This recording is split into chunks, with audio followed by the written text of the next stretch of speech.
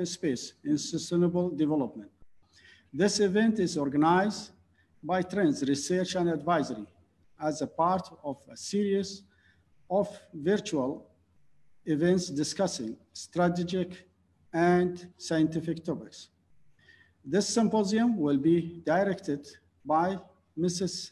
Tehen Nguyen. Participant lists include selected elite of professional experts specialized in the field of the space. Now allow me to ask Mrs. Hen to start running this, uh, session and the activities of this symposium. Ms. Hen, the floor is yours. Thank you so much, Mr. Ahmed. Dear distinguished speakers, participants, colleagues, ladies and gentlemen, mentors and mentees. My name is Thi-Hien Ngo, and it's my privilege and pleasure on behalf of Trends Research and Advisory to welcome you here today to the role of space in sustainable development. We're delighted to have you with us to participate and share in the July symposium event today. So thank you for your participation that many of you being here serves as a reminder to all of us how important our work is. Today's symposium will highlight how the space sector or different parts of the world contribute to the sustainable development goals. Trends Research and Advisory's mission is to commit to cutting edge research that helps decision makers better understand the challenges of the future by using academic research and effective partnerships to influence and contribute to the formulation of policies and decisions of governments and international organizations relating to all aspects of global and strategic issues. We are honored to welcome our distinguished, distinguished speakers today, Mr. Luc St. Pierre, Mr. Masayuki Goto, Mr. Eng Fatima Al-Shamsi, Dr. Peter Martinez, Professor Bernard Foing. Hello. um, Mrs. Svetlana Vachina, Mr. Enk Amir Al-Ghafri, and uh, before I hand over to Mr. Luc St. Pierre, who will be uh, doing the opening remarks as re representative of Dr. Simonetta Pippo today, I will give a brief overview of the symposium's objectives. Today, we will discuss the role of the space sector and technological advancement, international cooperation, and the future of space explorations, the space sector and building a sustainable knowledge-based economy and the future opportunities in space. I want to say once more on behalf of Trends Research, welcome to the symposium. Mr. Luc St. Pierre, the podium is all yours. Thank you. Actually, it's my bedroom, but it's fine.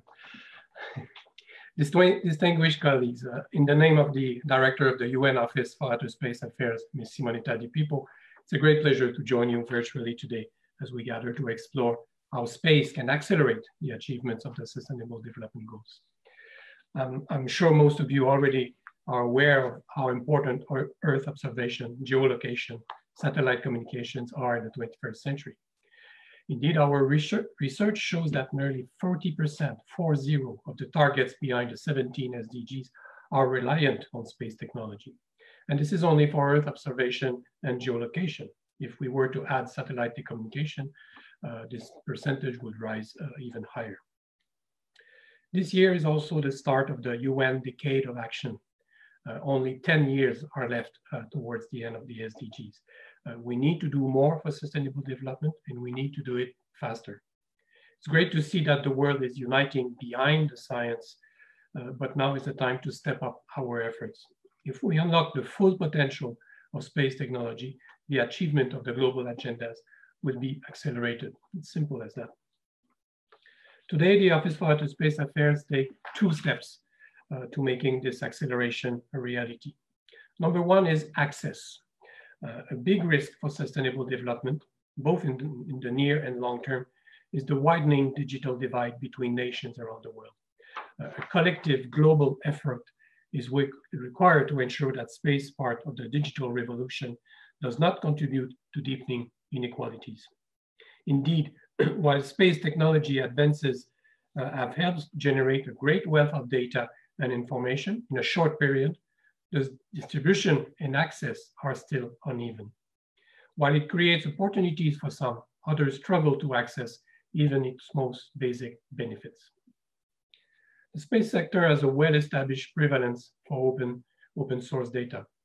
There are also tremendous effort, efforts already in place to make this data accessible to countries around the world. It is, of course, one thing to make data accessible, it is quite another to make it actionable. The journey from a satellite to a minister's briefing notes can be very long. We need, we need to make this process as bureaucratic and administratively efficient as ever, so that all policymakers have space-enabled, evidence-based information supporting their work. Number two is integration.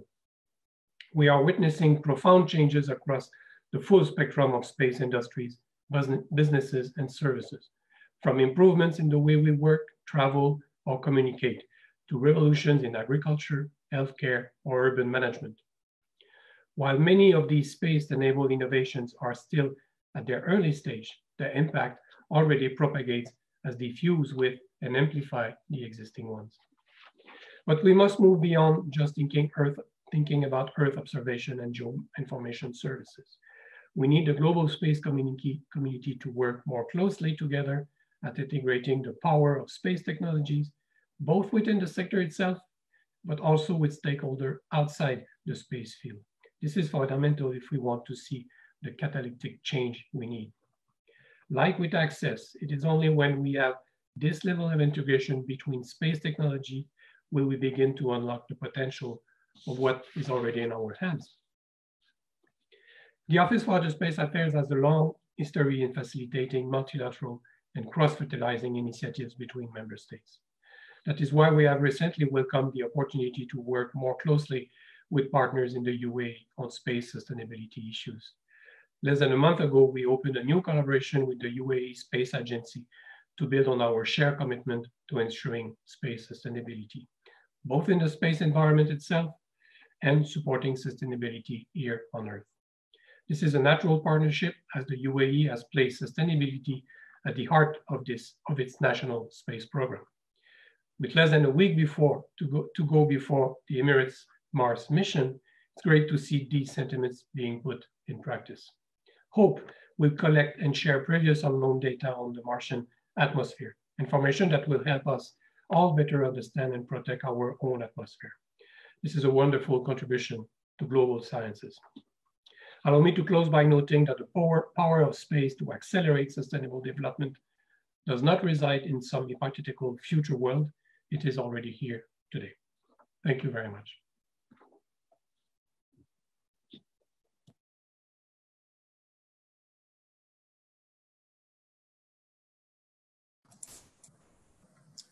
Oti, you are mute. You have to unmute yourself. Thank you. Thank you, Luc, Saint, Saint Pierre, for this insightful uh, reflection on the role of space sector in achieving SDGs and how space technology is accelerating uh, global implementation of the SDG. Thank you so much for being here today on behalf of uh, Dr. Simonetta Di Pippo, the director of UNOOSA. We will have questions later. Um, so I encourage the audience to uh, ask questions at the second half of the symposium. We now continue with the role of space sector in technological advancement with Mr. Masayuki Goto. He is the co-founder of Space Cubics in Japan. I know it's very late over there, so the podium is all yours. Masayuki, do you want to yes. Unmute yourself? Yes, thank you for introducing. Uh, can I share my presentation?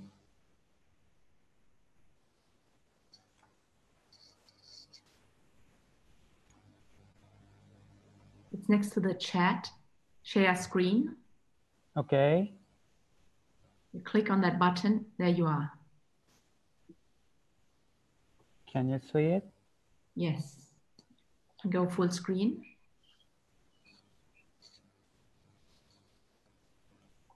Okay. Can you see? My, Yes. Yes. Okay.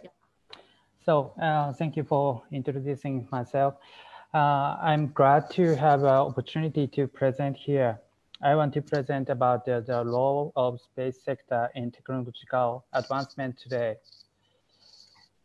Yeah, first of all, I guess nobody knows about me, so I want to introduce myself first.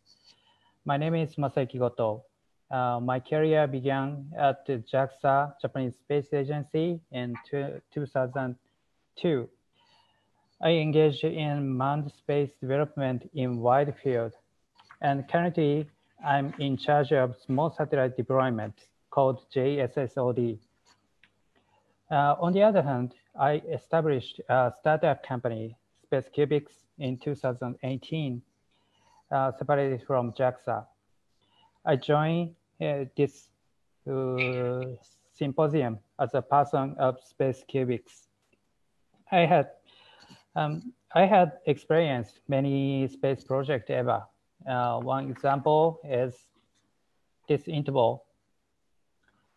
This is a kind of drone in space to shoot video during crew activity uh, to support crew uh, from ground operator. I established a company with computer engineers who developed a main computer of Int-Ball. We Space Cubics will provide a useful but low price space graded computer by merging uh, commercial technology and know-how in JAXA. I would start presenting this topic when, when I got invitation to this symposium uh, I considered how space sector was used. Uh, I think uh, that there are two patterns for the space sector's contribution to technological ad advancement.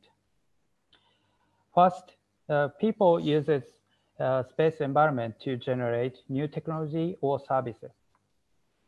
Uh, space is unique condition such as no air, microgravity, uh, monitorable uh, whole sky, and so on. People utilize the unique environment for their demands. Second is spin-off. Uh, space development generate unique technologies such as uh, light support. People utilize the technology itself and convert it, convert it to ground in industry. For example, uh, when people want to see the Earth or forecast weather, uh, they need Earth view environment. In this case, space is only one of method to advance uh, technology. Microgravity environment is used to analyze, analyze crystal structure of protein to develop a new drug. The structure the structure is figured out and the data feedback to drug design. Or uh, material that is hardly mixed can be mixed under microgravity. So the new alloy can be created under microgravity situation. Or recently, uh, some companies uh, many satellite, uh, many satellites to connect internet anywhere on ground such as an isolated area or developing countries. This contributes to reducing an info information gap all over the world. Opportunity to use space environment uh, increasing recently because rocket technology is advanced. The case like this will probably uh, continue to grow more and more in the future. And uh, next uh, space space development has essential technologies because space is unusual environment. Human cannot arrive in space uh, so a manned satellite or robot has to work a lot in space. The robot should be controlled from the earth the, and uh, once the machine is failed uh, we cannot fix it. Therefore, uh, we have to develop is considering how failure is avoided or recovered it uh, remotely. The sum of unique technologies are possibly utilized for ground industry. Remote control uh, technology is very useful for many fields. It is difficult situation due to coronavirus nowadays, so demand for remote working technology will be increased. And the next uh, life support system uh, means controlling habitable environment, such as uh, recycling water, generating air, toilet, to live human in space. This technology can be used for shelter or developing countries that do not have enough resources. The robotics is also uh, essential for space more than ground. The technology will be able to feed back to ground industry. I will show the other case. Uh, this uh, L um, here, uh, that is uh, one of the startup company uh, in Japan, uh, will create man-made shooting stars for entertainment.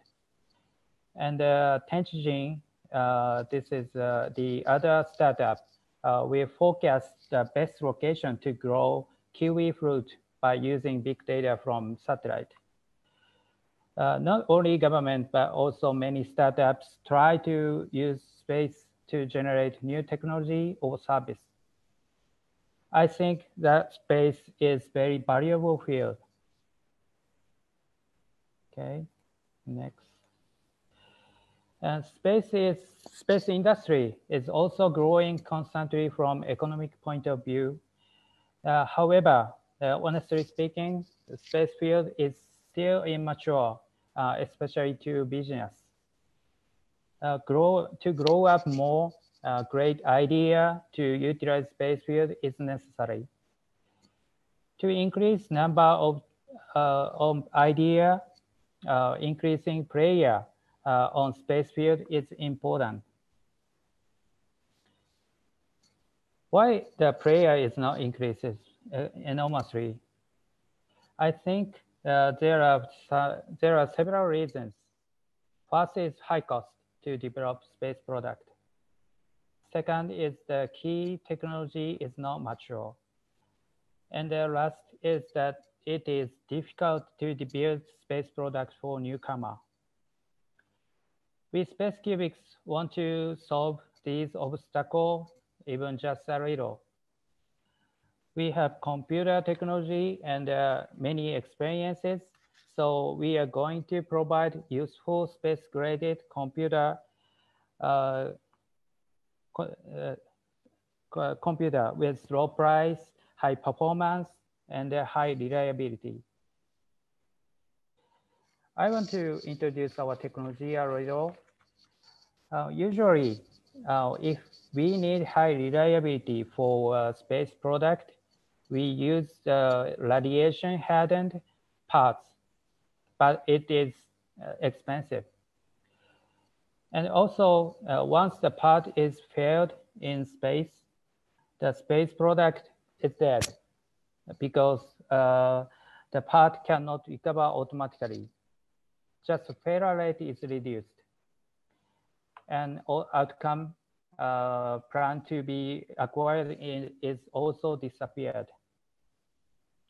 On the other hand, uh, we focus on recovery function uh, because failure is definitely occurred. The function uh, monitors health and status of the space product. And when uh, it when uh, it is paid, fix the, failed location automatically. And the triple modular redundancy system uh, named TMR uh, detects the data error and corrects it immediately. As a result, the space product uh, works properly and downlink data is uh, always correct. This realized by only using uh, using the cheap uh, chip part. And we use its FPGA. This device can build any, any function you want and uh, change it as many times like Lego. Each user demands uh, each mission in space, so usually they custom commercial products by special order with high cost. Our computer, uh, computer with FPGA can respond our customers' demand for their mission on orbit flexibly uh, without high cost. This technology achieves keep working and a precise judgment. This will contribute to various fields on ground. Of course, uh, we can imagine that it is needed for industry related to human life, like automatic driving or medical equipment. And uh, there are a lot of services to be continued working for our life. For example, uh, once the internet is stopped uh, due to a crashing data center or com communication-based station, uh, many people is necessary to fix it. We hope our technology for space will help technological advancement uh, not only in space, but also on ground. Our vision is that uh, we will provide useful computer and a satellite bus system first. With combining ground industry, we aim to decrease uh, product, project cost to develop space product.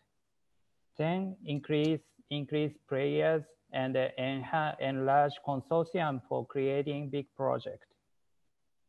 Finally, we hope we can realize the era when anyone can go to space.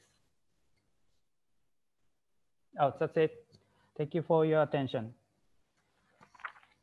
Thank you so much, uh, Mr. Masayuki Goto, for sharing uh, this uh, opportunities in this field to generate new tech on your own example with space cubics. It's very inspiring. Thank you very much. I know it's late so um, we now continue with Ms. Bianca Cefalo. Uh, she is a space system thermal product manager at Airbus Defense and Space in the United Kingdom, our rocket scientist. She's going to present uh, the role of telecommunication satellites on infrastructure optimi optimization and digital divide. Bianca? Thank you, Ian. And um, it's first of all my honor to be here and to share uh, the stage with all of you. Um, so going basically back on, the line on of what Luc Saint-Pierre and also Masayuki have already anticipated. Um, the role of space technologies and especially of satellites communication uh, as we see today as exponentially boomed in these exact moments of our life. So if you think about everything that in any countries now is happening with the global pandemic, all the rescues, all the telemedicine that is needed, and the daily basis communication that is now everything digital, education, businesses, everything is running throughout working from home scheme, which means if we didn't have internet, and if we didn't have GPS enough, if we didn't have enough bread, broadband and TV broadcast, not only in the countries that are developed enough, but also in all the other ones that could really reach TV or education, uh, if only based on cabling, we wouldn't have had the life that we have today. So uh, one of the main things that I'm asked, why do we implement, why do we invest into space?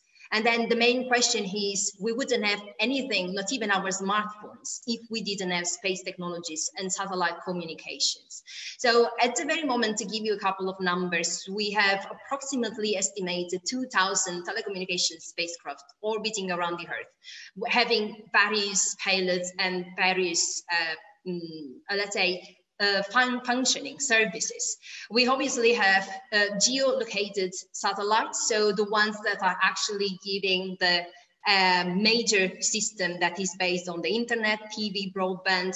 And if you think about these kind of services like TV, broadband, and internet, they only started after the Second World War to become something that was moving more towards commercial use rather than military. Because at the very beginning, satellite communication was something that was just based on elitist government and military missions. But now, moving towards a way more digitalized way of living and running businesses, the end users, the end customers is every one of us. So there is a way more movement toward the commercial, which means there has to be a way bigger collective effort uh, throughout the whole countries, but, whole, but also throughout the all technology know-how coming from everywhere in the world. Because the more the end users are needing the internet, the TV broadband, the GPS, the weather forecast, disaster uh, responders, the more the technology needs to be up and running.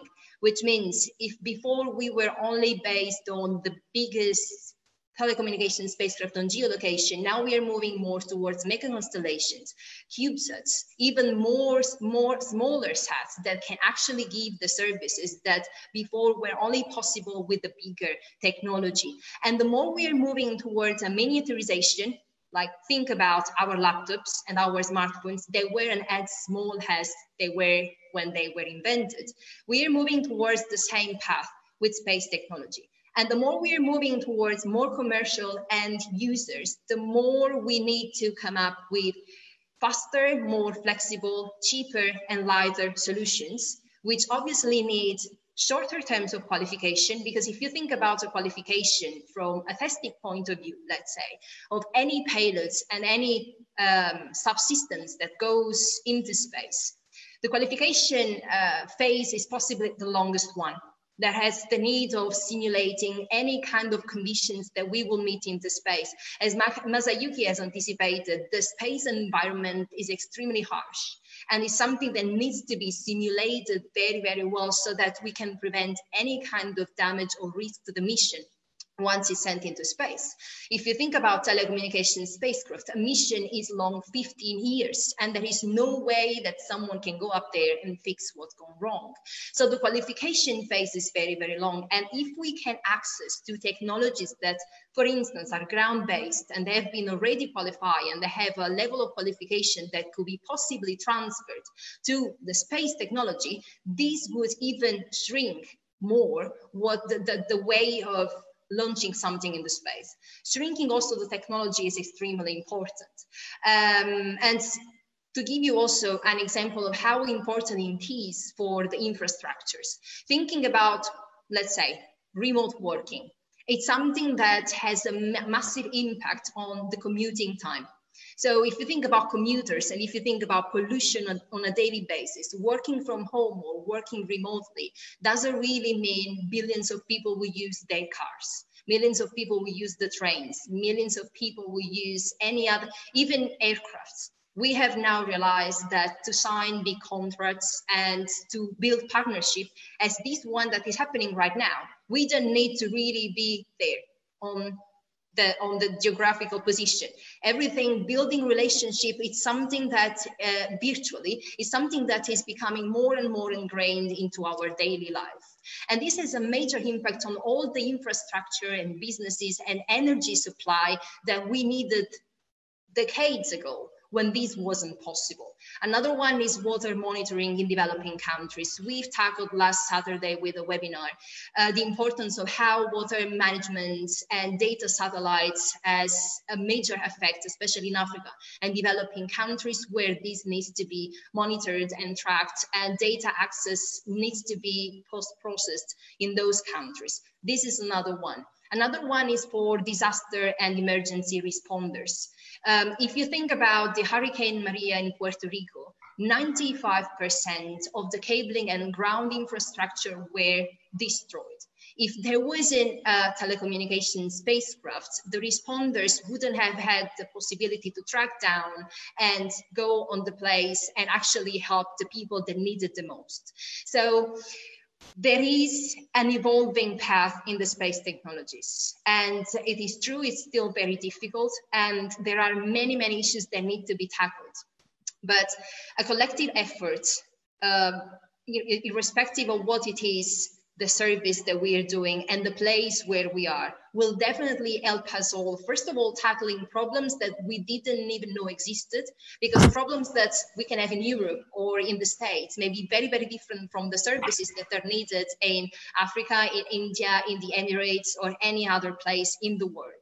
So accessing to the knowledge of other people in other places that have tackled these problems help us also evolving not only from an ethical and sustainable point of view, but also from a technical and political mindset as well. And also the collective effort in the moment we think we are all joined together for the greater mission is making us move much faster than just having conflicting views on what should be done. So uh, to wrap this up is um, I, I, love to say that um, anytime that we think that space is really not our business, it is actually our business because our life on Earth depends on the security and sustainability of space and the outer space as a whole.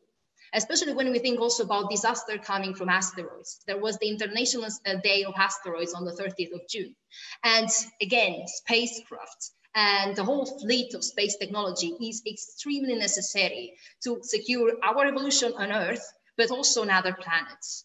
And at the same time, collective efforts and joint ventures and open responsibilities and conversations are truly helping everyone to evolve, not only from a personal point of view and political point of view, but also technological way and the way also we would see humanity on other planets and possibly also going beyond what it is the well-known solar systems that we are in now.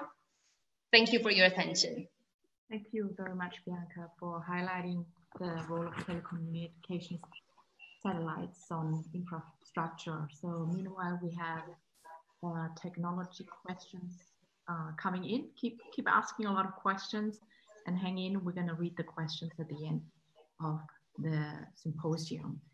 So it's an honor and privilege to now introduce you to Mr. Enk Ame Al Ghafri. He's the Senior Director of Space Engineering Department of the Mohammed bin Rashid Space Center of the UAE. Welcome to the podium. Uh, hello, everyone. And uh, thank you, uh, uh Mrs. Moderator, for introducing me. Uh, my name is Amar Al Ghafri. I'm part of Mohammed bin Rashid Space Center and in line with the, I'm not sure if the right screen is shared. Yes, it is. Okay. Uh, and in line with the uh, topic of this uh, symposium, I mean, from MBRSC side, I'll give it just a very brief about the Mohammed Rashid Space Center, and then we'll dive in, into this uh, presentation. Uh, basically, we are a government entity uh, based in Dubai, UAE, uh, we were established in uh, 2006. And uh, since then, we have been working in different space programs and projects. and the, the key goal was to establish the, the space sector here in the UAE. Of course, the challenge was uh, space is expensive, space is uh, uh, considered as a luxury at some point or uh, could be a potential threat to uh, neighbors or to other countries uh, as a, a, military weapon or something. however, here in the UAE, we looked at space as the key pillar to build a knowledge-based economy. And this is why the focus was on, uh, on the engineers and the scientists who will be joining uh, this sector and on the programs that are focused on science and technology and serving humanity. So we were established in 2006, and we were, uh, since then we have uh, developed uh, several Earth observation uh, satellites, uh, DubaiSat 1, DubaiSat 2, KhalifaSat, and they are all now in space and serving the need of Earth observation projects and uh, solutions in the UAE and uh, globally. Uh, we are involved in several UN initiatives related to uh, the sustainability of space and SDGs, as well as several humanitarian, I would say, institutions or organizations like the and then the different disaster management and recovery organizations. On, on, the other side, also the role of Mohammed bin Rashid Space Center, along with the different entities that were also established in the UAE, was to uh, promote space in general. And uh, that was done through different programs. One was the development of uh, satellites locally here in the UAE. And the second one was the Hope Probe, which is the main topic of today's session from MBRC side. And the third was the astronaut program, where we have actually uh, successfully uh, sent the first UAE uh, astronaut and the first Arab to the ISS last year. And this will be a sustainable program where we will have UAE nationals, whether as astronauts or as scientists studying, studying the humanity or the human life in space. And the fourth one, which is the Mars 2117, another uh, very strategic uh, initiative, which Eh, we're in the UAE here, we hope uh, through collaboration and work with everybody in the world uh, and a strong push towards uh, research and development to establish the first city on Mars, uh, on Mars in uh, 100 years uh, from now. I'm sure it's an exciting era here in the UAE, and maybe we will not see that city on Mars, but definitely uh, we are doing something that will help us uh, reach there, our grandchildren and grand-grandchildren. So I'll start with the main topic, which is uh, the main topic even in the UAE now, the next uh, major milestone here, not as a, as space sector, but as a country itself. Uh, what we, are trying to do with the Mars uh, mission, which we call HOPE Probe, is to put the first step towards very strong uh, science and research uh, society in the UAE and in the region. And the name itself is, uh, is given by His Highness Sheikh Mohammed bin Rashid Al Maktoum, the Prime Minister of the UAE. And the, the idea was this probe represents the hope for millions of young Arabs looking for a better future uh, here uh, in our region. We, I mean, we all hear in the news all the conflicts and uh, unfortunate events that are happening in this region. But uh, in the UAE, through the space program, and specifically through, through the HOPE probe, we want to prove that uh, there is a future and there is achievement and there is life. And that could be done with hope and with strong leadership and belief from all the young uh, Arab uh, here uh, in this region and around the world eventually. And in general, this uh, mission was uh, announced by His Highness uh, Sheikh Khalifa bin Zayed, the President of the UAE, and the Prime Minister uh, and ruler of Dubai, His Highness Sheikh Mohammed bin Rashid Al Maktoum, in uh, 2014. And uh, the goal was to have the first interplanetary mission exploring space taken by an Arab nation. And with this mission uh, being launched uh, hopefully uh, in the coming days, next week actually. Stay tuned for that event. It will be next early Wednesday here in the UAE.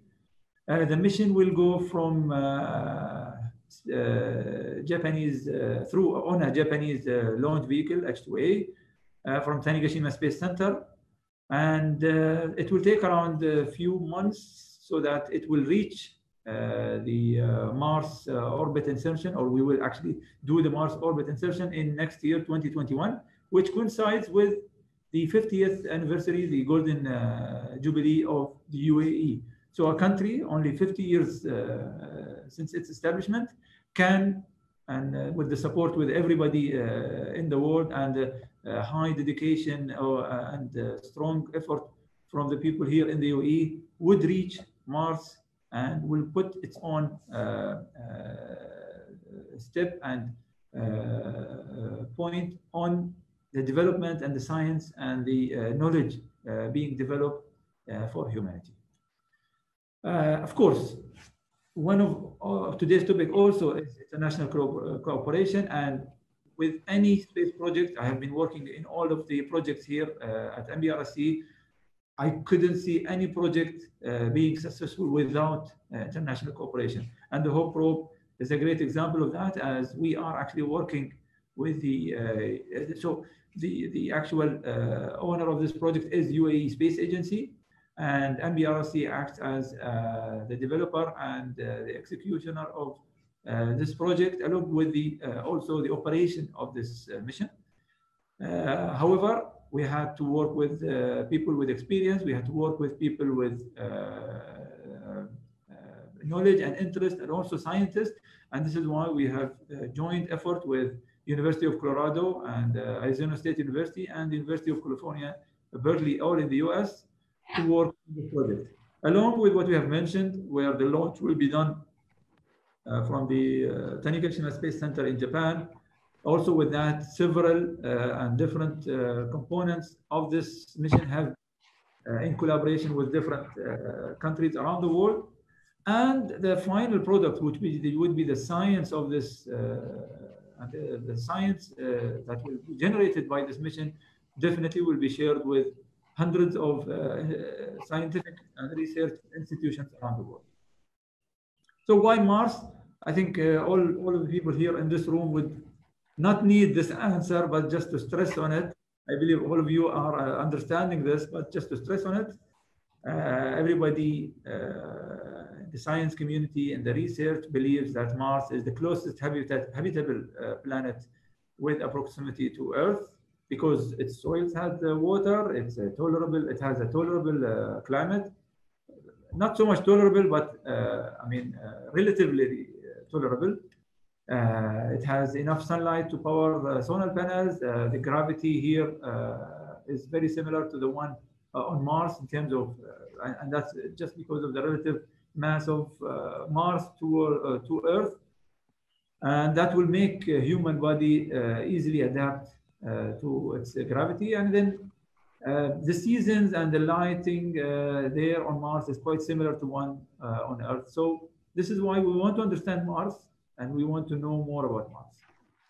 Uh, specifically for our mission, the Emirates Mars mission, uh, it's to train and prepare UAE scientists, to do scientific, science work in the field of space exploration, build the infrastructure here and for a sustainable outer space exploration. We started our mission with uh, LEO satellites, Earth observation satellites, but now we want to go into uh, outer space and uh, outer space exploration.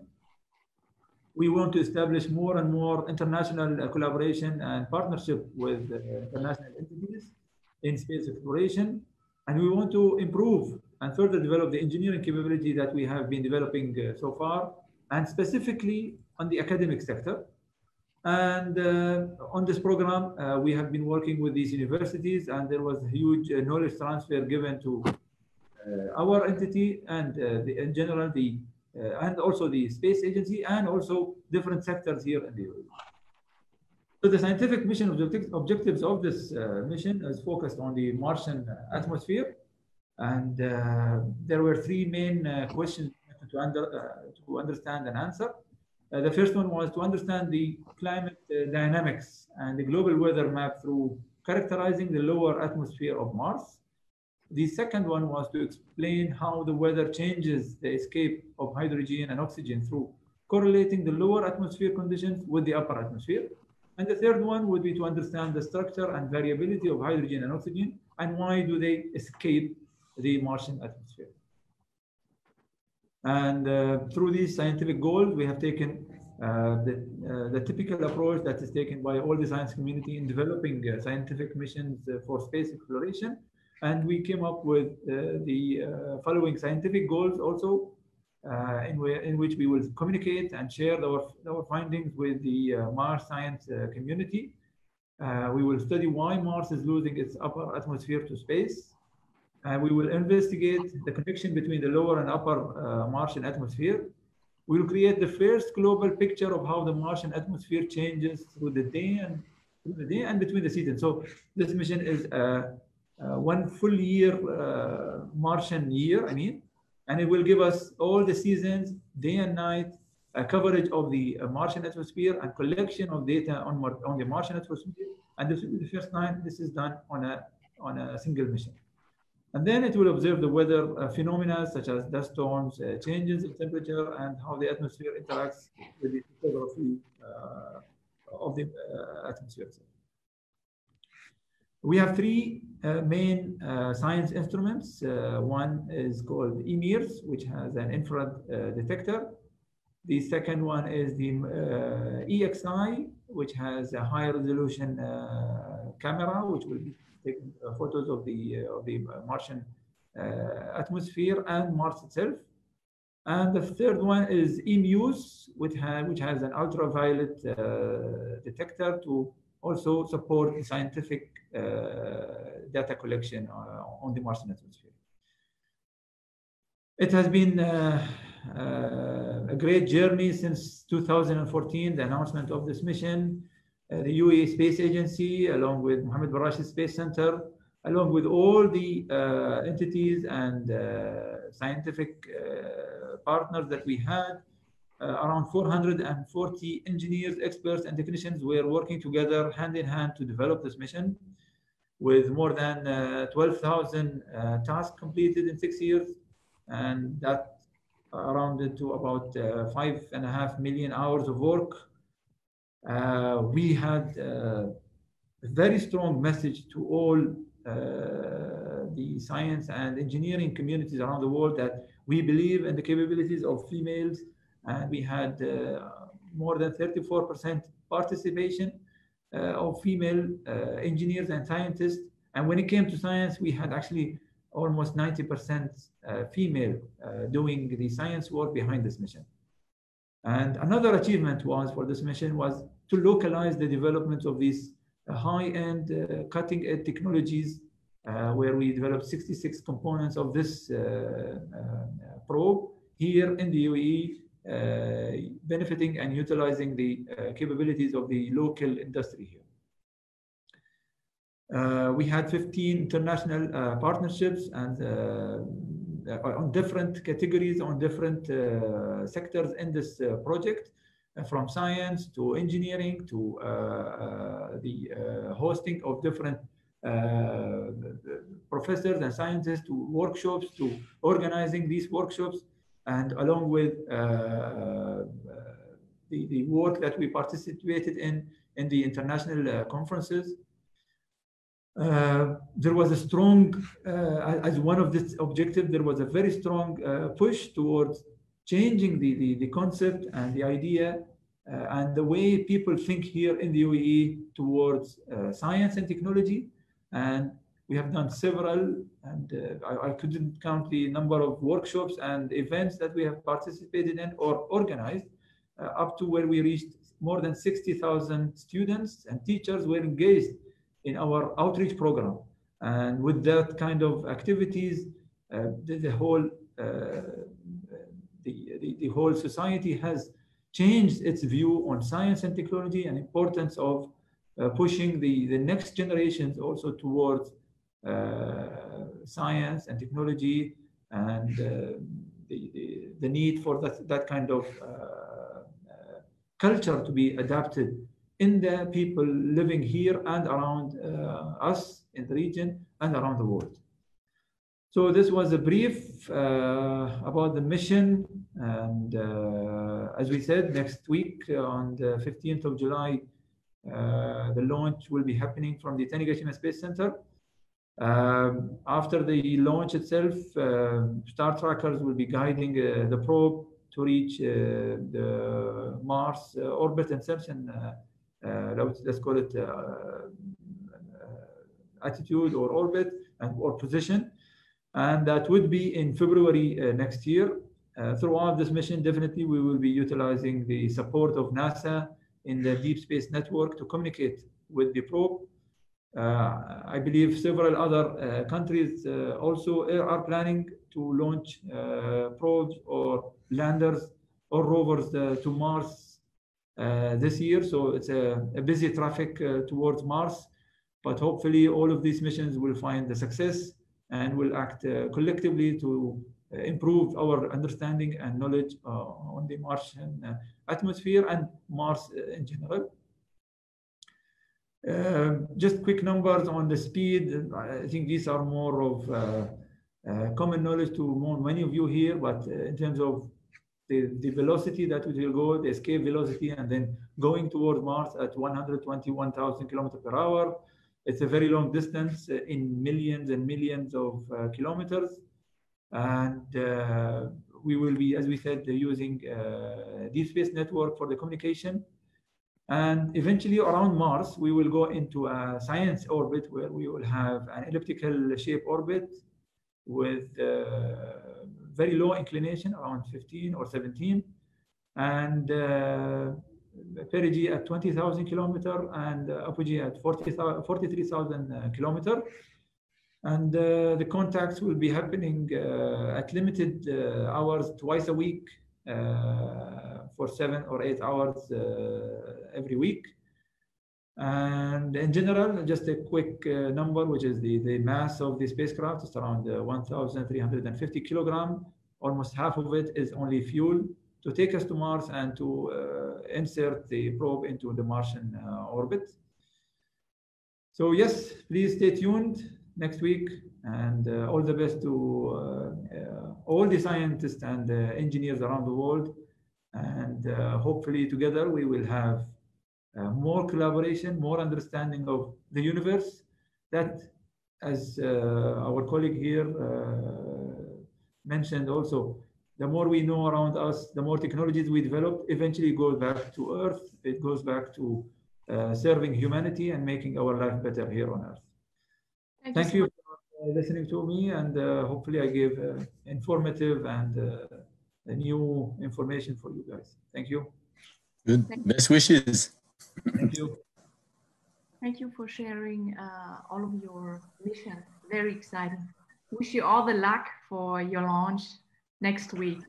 Thank, Thank you, you, for uh, also reminding us on the importance of uh, collaboration, international cooperation. It's amazing and very inspiring what the UAE has accomplished. Good luck with your endeavors. Thank you so much.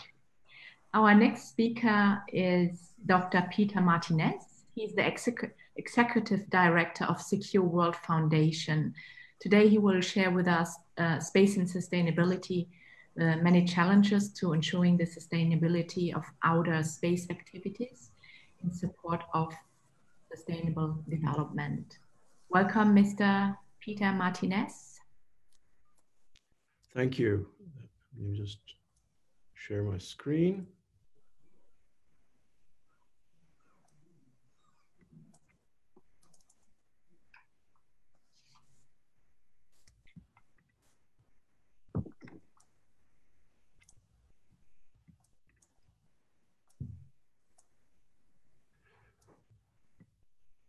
So good morning or good evening, everyone. It's a great pleasure to participate in this uh, seminar today, and thank you for the invitation to present uh, some thoughts on uh, space sustainability and the role, the connection between space sustainability and sustainable development. Uh, my name is Peter Martinez. I'm the Executive Director of Secure World Foundation. For those of you who may not have uh, encountered our organization before, we are a private operating foundation based in the United States, but with a global footprint in terms of our activities.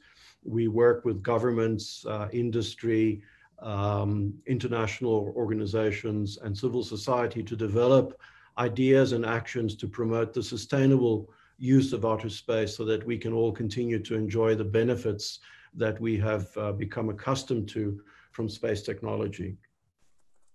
So when uh, we uh, talk about space activities, uh, indeed, most people who aren't in the space sector uh, would normally think about things like the ISS or um, the fantastic missions that have given us so much insights about the universe, like the Hubble Space Telescope or interplanetary exploration. And we've we've just heard a uh, a fascinating talk by Amir Al Ghafri about the um, the Hope mission, and I wish them all the very best uh, for this. I shall certainly be watching the launch with great interest. But um, so we've learned a lot about the universe um, during the first uh, 60 years of the space age, and it has enriched our life on Earth uh, immensely. But of course, the planet that matters most to us is the planet that we all actually live on. And indeed, the vast majority of satellites put into space are um, placed there to provide services to people on the ground. And I, I need hardly to repeat to the audience of this uh, event today just how critically reliant uh, we all are personally on the continuity of space data and services. So, so space has become an essential component of addressing global challenges such as climate change and also addressing global agendas such as Agenda 2030 and the Sustainable Development Goals. Um, and many of you, of course, are familiar with this, uh, uh, this iconic uh, representation of the 17 SDGs. And we all know that satellites can provide um, very important services to realize these. Earlier on in this uh, uh, symposium, uh, Luc Saint-Pierre from UNOOSA mentioned that 40% of the SDGs uh, can be directly uh, supported by space applications.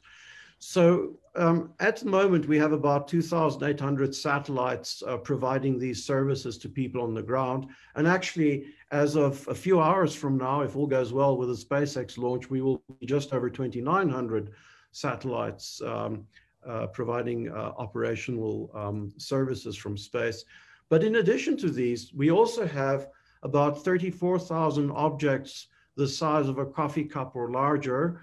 Um, these are uh, space debris from the, um, the first uh, 50 or 60 years of the space age. And of course, just as the distribution of material on the beach where you have large, a few large boulders, lots of stones, millions of sand grains and so on, the distribution of this um, uh, uh, anthropogenic material in space follows the same pattern. And so we have uh, a much larger number of objects in size one to 10 centimeters and um, millions of objects smaller than that. And this all raises concerns for the future sustainability of space activities uh, in terms of the safety of space operations. Just to very quickly give you a kind of a visual depiction of the evolution of the orbital environment, you can see here that um, as the decades have gone by, that our low Earth uh, orbit environment shown on the left and uh, the geostationary uh, arc on the right have become more and more crowded.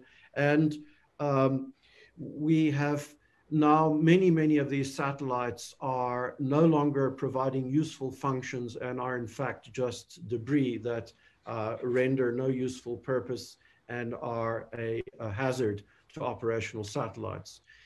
Um, recent data from the um, Union of Concerned Scientists, they keep a catalog of, of space objects. Their most recent update was published in April. Um, they have about 1,900 um, uh, operational satellites in LEO, about 130 in medium Earth orbit, uh, and um, about 550 in the geostationary arc. Many of the numbers that I will give to you in this presentation will be outdated uh, shortly just because of the very rapid pace of developments. Now, if you look at the distribution of this orbital debris uh, or orbital material, um, this chart shows you the evolution of this um, uh, material in orbit, where you can see the number of payloads um, indicated uh, with the red um, uh, bars at the bottom. But then you also have other um, objects uh, such as uh, payload fragmentation debris or, mission-related debris. These are things like uh, mirror covers and so on that are cast off or used to be cast off. Um, people try nowadays not to, to reduce the amount of material uh, that is mission-related debris. And then, of course, you have fragmentations of rockets um, and, and upper stages and so on.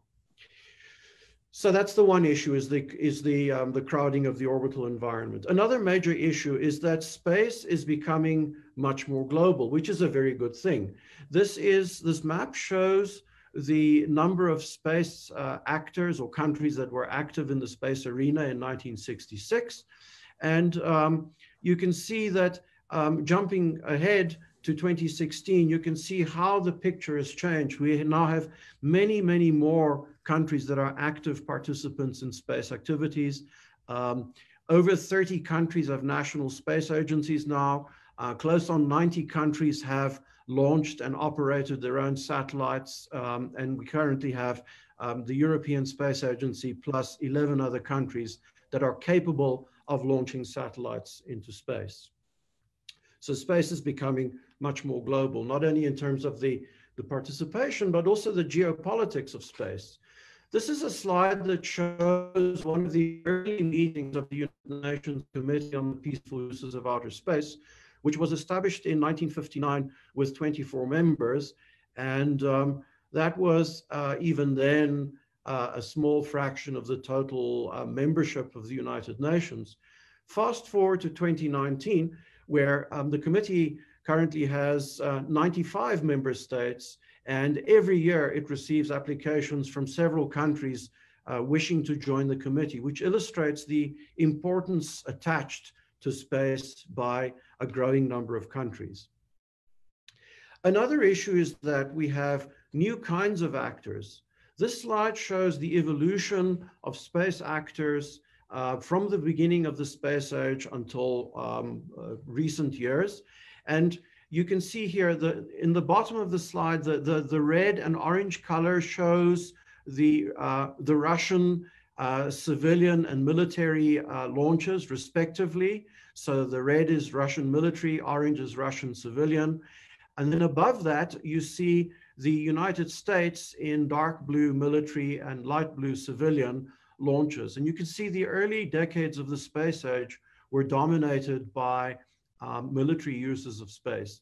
But gradually the civilian uses um, uh, increased. And also you start seeing in the 70s that um, yellow band, which is other nations becoming space actors. But what is most striking is the green band, which shows the emergence of the private sector. And you can see towards the right-hand uh, corner of the diagram how significant the private sector has become as a space actor, and therefore how important it is to involve private sector expertise in the development of regulations for outer space activities. We also have new kinds of space activities um, emerging all the time now. Um, this is a slide that is depicting uh, things like uh, close proximity operations, like on-orbit servicing, um, so things like uh, inspections, life extensions, and on-orbit repair. Um, we also are seeing the emergence of things like uh, space mission resources um, uh, work and also um, things like uh, active debris removal. All of these new kinds of space operations raise various security concerns because of the dual use nature of these capabilities. Another issue that is shaping the space arena is the emergence of the so-called mega constellations. This is a slide that I've taken from a graphic in Space News that came out a year or two ago, showing the number of mega constellations that were being um, planned at that time. And indeed, um, if you if if all of the applications for these mega constellations come to life, and I personally don't believe they all will, but if they do, you're looking at 57,000 satellites planned through to um, 2029. Now, even if even if just 10% of these satellites get built, that's still another 5,700 satellites we can expect in orbit on top of what is there already. Another concern, and this is a very, um, uh, a very serious one for the growing uses of space, is the proliferation of counter space capabilities around the world. As more and more countries rely on space for their militaries, um, we are seeing, therefore, attention being paid to protecting military assets. And a number of countries have uh, are working on counter space capabilities. These fall into various categories such as kinetic physical, which means um, uh, either direct ascent ASATs or co-orbital ASATs or, or ground station attacks. We're also seeing non-kinetic physical counter space like uh, electromagnetic or laser uh, or microwave uh, um, interference. Then you can have electronic um, uh, forms of attack such as spoofing or jamming, and then finally cyber. Those are all causes of great concern, especially the debris producing uh, anti-satellite activities. Another area of concern is space weather. We heard from uh, one of the previous speakers about the miniaturization of space components, which of course lowers the cost of barriers. And this of course has great benefits, but because the components are smaller, they also become more susceptible to space weather. And this is especially an issue for um, CubeSats and, and other spacecraft developed by space actors with very limited budgets and uh, one wants to avoid a situation where satellites die very shortly after going into orbit and become just space debris. Now, in the next few minutes, I'll focus on some of the solutions. Um, of course, there uh, are scientific and technical solutions to many of these issues. Uh, this is a depiction that I took from uh, the ESA website showing one possible solution for removal of space debris all sorts of ideas have been proposed, nets, harpoons, magnets, lasers. I don't have time to go into it, but um, this is a, a growing uh, opportunity for technology and commercial um, uh, uh, benefit. Um, another area that I think we can look to for solutions apart from technology is developing norms of responsible behavior. Um, I use the analogy of traffic. In the early days when there were very few people with cars, um, the motorists could more, more or less um, watch out for each other and avoid collisions. But as more and more people started acquiring cars, we needed to develop rules of the road, norms of responsible behavior, and, um, and also um, uh, to, to avoid uh, chaos and, and, uh, and accidents. And so it is in space that we need norms of behavior in space, um, both for civilian and for military users of space. And there are at the moment uh, a number of initiatives to develop such norms, both by the military community, but also by civilian actors. Um, for example, uh, civilian actors have come together in two initiatives. One is called CONFERS, the Consortium for the Execution of Rendezvous and Servicing Operations. Um, this is a, a, consortium of commercial actors, uh, international consortium, that is developing rules for close proximity operations. Another is the Space Safety Coalition, also an international group that is promoting adherence to best practices, standards, and guidelines. And so this is one area. On the, on the um, defense side, there are initiatives uh, called MILAMOS uh, and, um, and, and also one by um, uh, another group called the Woomera Initiative that are looking at developing manuals for how militaries should um, uh, behave in these kinds of situations. Then uh, another very important area is uh, policy and regulation.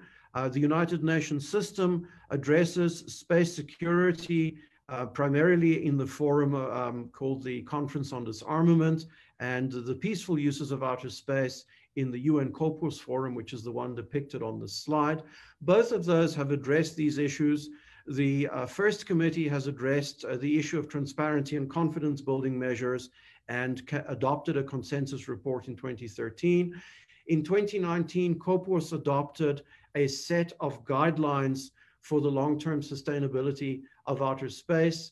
Um, this was a, uh, a massive eight-year effort that culminated in a set of 21 guidelines, which we are now working uh, both with uh, government and, um, uh, and industry partners to promote as widely as possible. So these are some of the, I hope I've given you an idea of some of the current challenges that we are experiencing in the space domain that may hinder uh, its uh, our ability to use it for sustainable development, but also a number of solutions, both technical, scientific, uh, and regulatory that we can use. And I'll stop there. Thank you very much. Thank you very much, Dr. Martinez, for sharing with us the challenges and solutions to uh, sustainable space. Thank you very much. Um, our next speaker is Professor Bernard Foing. He is the senior scientist at the European Space Agency, also director at the ILEWG Euromoon Mars in Netherlands. Okay. Hello, so welcome to everybody. From, from Earth now I'm going, do you hear me? Do you see my presentation? Yes. Yes, okay, excellent. Yeah, thank you. Yes, so from uh, Earth, I'll talk about the Moon and Mars and how together we can uh, uh, go sustainably and together as a global village of inhabitants of Earth, of astronauts from Earth, seven and a half billion here, and how going uh, to the moon and Mars and having some activities uh, there uh, can benefit whole humankind. So um, this is prepared with a, a group of young moon and Mars explorers that are helping me, and we started a program so 11 years ago called Euromoon Mars, where we have a special program to do research, to do technology, also to uh, uh, uh, develop uh, opportunities for young Moon and Mars explorers, and um, also to bridge to society. And actually, I put them as quotas. So every year we have a, a core of young Moon and Mars explorers, young professionals, and I have put their names there from the last uh, uh, four years. But we had a good community. We worked also with uh, a number of universities, with the Space Generation Advisory Council, with the ISU uh, for, for that. So um, what about the moon and Mars? Actually, I was fortunate working at the European Space Agency to be the father of uh, our first uh, mission to the moon. The first mission of this millennium, SMART 1, was launched in 2003, and a, a small mission for advanced research and technology uh, that we launched and uh, that uh, used Piñataras payload, also that to use the technique of ion propulsion to go into deep space. So we were there, and so we arrived on the around the moon in 2005, and we stayed there one year and a half until uh, an impact it was observed uh, worldwide and that also engaged uh, many people around the world. And what we have learned with a smart one is that uh, at the end, it was not only for the science and the technology, but the great, great impact of Smart One was to engage the public and the youth. And we have got a lot of interest from this youngster. Also, we used uh, this mission, Smart One, to educate uh, the public and the youth about uh, science, planetary science, space science. What does it take to shape rocky planets? So we have wrinkle on planets, we have craters, we have volcanism, we have a very special uh, polar regions uh, there, which a very special condition uh, with uh, uh, some permanent shadow area and ice. And even, okay, we uh, could observe our own impact on the surface of the moon. Uh, and this was observed worldwide. And we created the first uh, uh, lunar sculpture of this millennium. And we are going to try to look for the fingerprints of the um, the remain of the Smart One spacecraft there. Also, we looked at places where in the future we could set robotic bases, robotic village, and human villages. And we made a, a map, a mosaic map of the pole of the moon. So if you go to the moon, you can take this map with you and uh, this will help you to navigate in some areas where you can watch the Earth on the near side, but also on the far side areas where we found ice and so on. Even more, we found at proximity from the South Pole a peak of eternal light, a place which is high enough that the sun is most, okay, 100% uh, of the summer and 80% of the winter, the sun is visible from there. So there you would have a place where you'd have solar power forever. And uh, that's a very interesting uh, uh, challenge, very interesting real estate. Um, to whom does it belong? Of course, it belongs to humankind to Earth, but how can you make use of this place to uh, benefit uh, the whole community for science, technology, but also commercial development and exploration on the moon and beyond. So after Smart One, we have been uh, collaborating also with a number of countries that developed their own orbital village around the moon.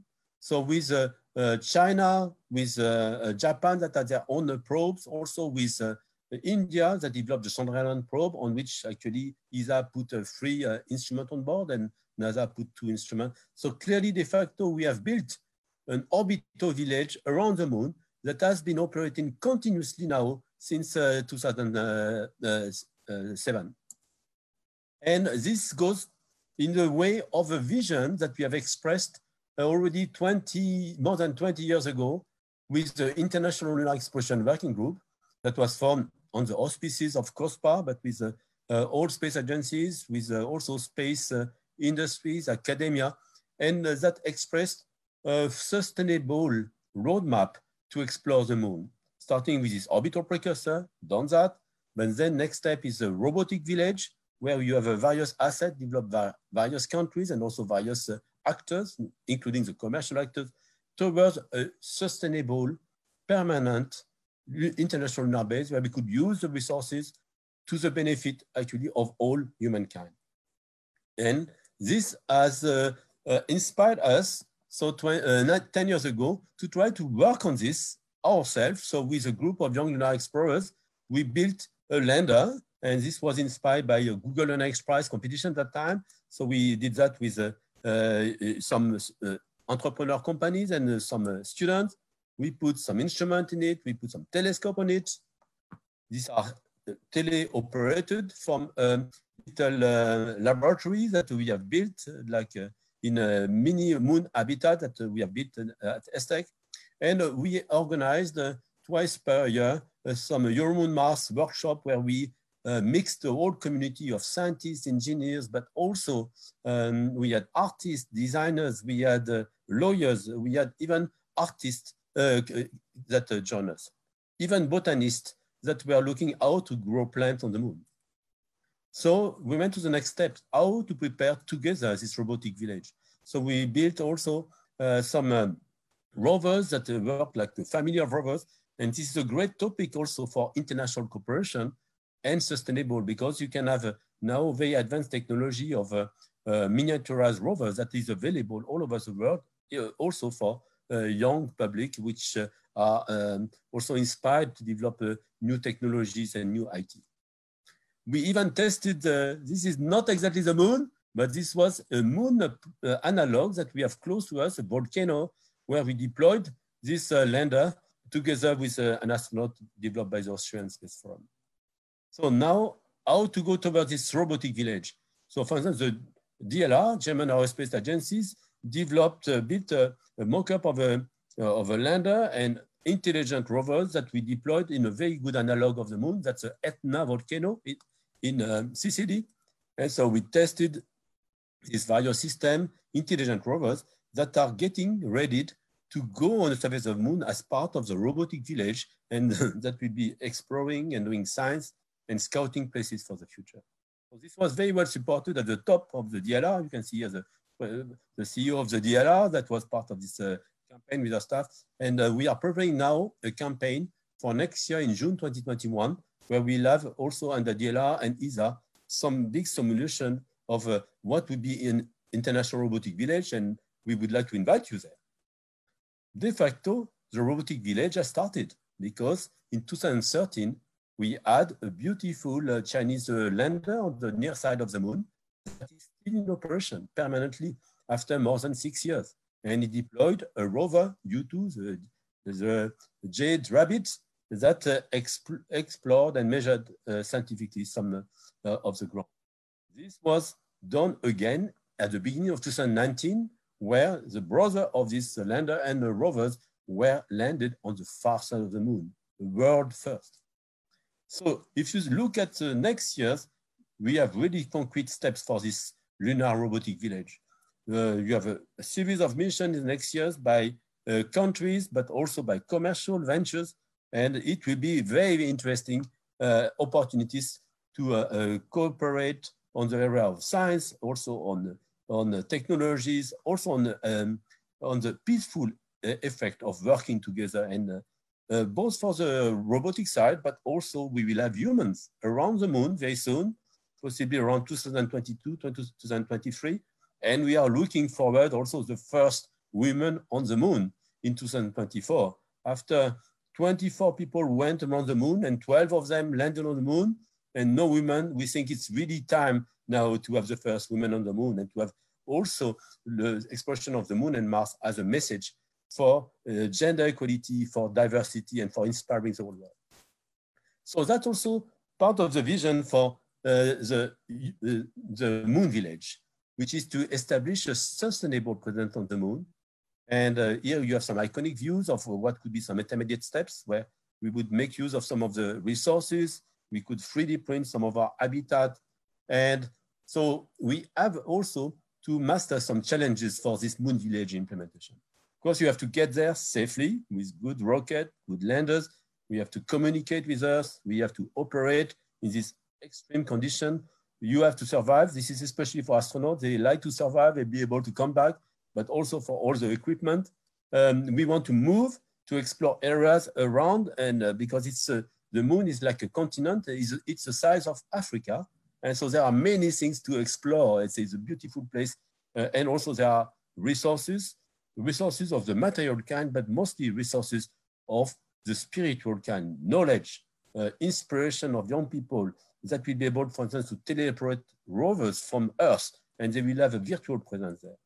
There will be a place for humans, for robots, and we are able to exploit resources there, not only the soil, but also the water ice uh, for life support system, but also for making fuel for a rocket that will go at a cost 50 times in energy less than if you launch from Earth.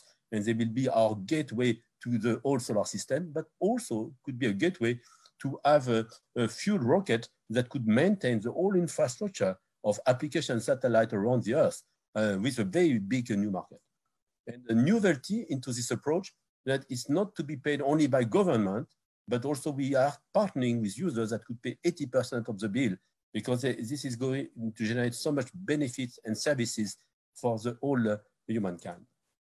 So now going back of how can we make it happen at our little uh, scale?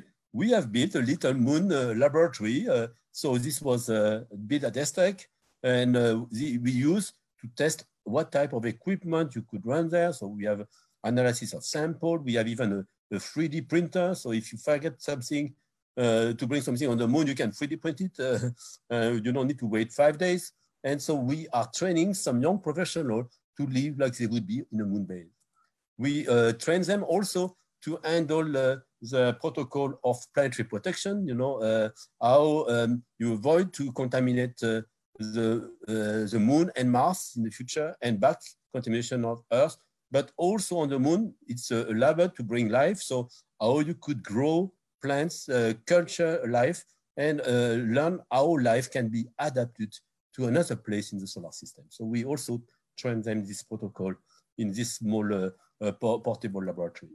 But also we conducted every year some campaign in extreme desert in, on Earth that are analog to the moon and Mars where we can perform laboratory or field research, we can demonstrate instruments, we can test some technologies of habitat, in particular sustainable habitat for energy, water recycle, how to live in confinement, isolation, and all the, this human aspect.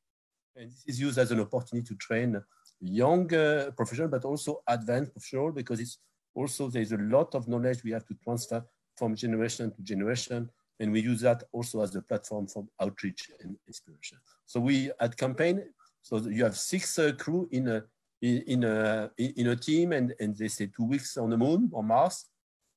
And here it's a, a place where we can really connect also, uh, uh, learn about Mars better. This on the top you have images we obtained with Mars Express. This was our big brother for Hope. Uh, so good luck to Hope. And uh, we uh, also have landscapes on Earth that are very similar to Mars. And they tell us about the ancient water history of Mars. And interestingly, on those places, we have access to the samples that we can analyze and you can better then understand Mars sample and Martian history in terms of water, but also in terms of uh, um, the past possible life. So we brought a series of uh, experiments on board, so X-ray experiment, infrared, and so on, microscopy that uh, were developed uh, between ESA and also NASA uh, collaborators in some universities. We also uh, performed some simulation for extravehicular activities where, so this is for instance deploying a radar from the Jet Propulsion Laboratory, very miniaturized, trying to operate a drill. And it takes three astronauts in a scaphandra to operate a drill on Mars. So that's much harder, but uh, we can prove that we were able to take a subsurface sample that tells you also about the history of uh, of the place. And it will be applicable to the future. In a sample we would like to get on Mars or eventually also in some of these polar ice deposits that we have found on the moon. So we have also uh, performed some campaign uh, near to us. In, you know, near Holland, where I live, there is a volcano that exploded recently, only 10,000 years ago, all over Europe. And so we go there and we use that as a field to train uh, for uh, operation on the moon and Mars. So we go there every year to train the students also on the technical side. It's close to the European Astronaut Center. So I would like to, if your audience is interested, please contact me and we can put you uh, to join some of our next uh, campaign. We try also to organize other campaign in other parts of the world. So this is a, this is a volcano that in one week just uh, created 25 meter of ashes and you can uh, measure them with uh, our instrument. So that we have seen.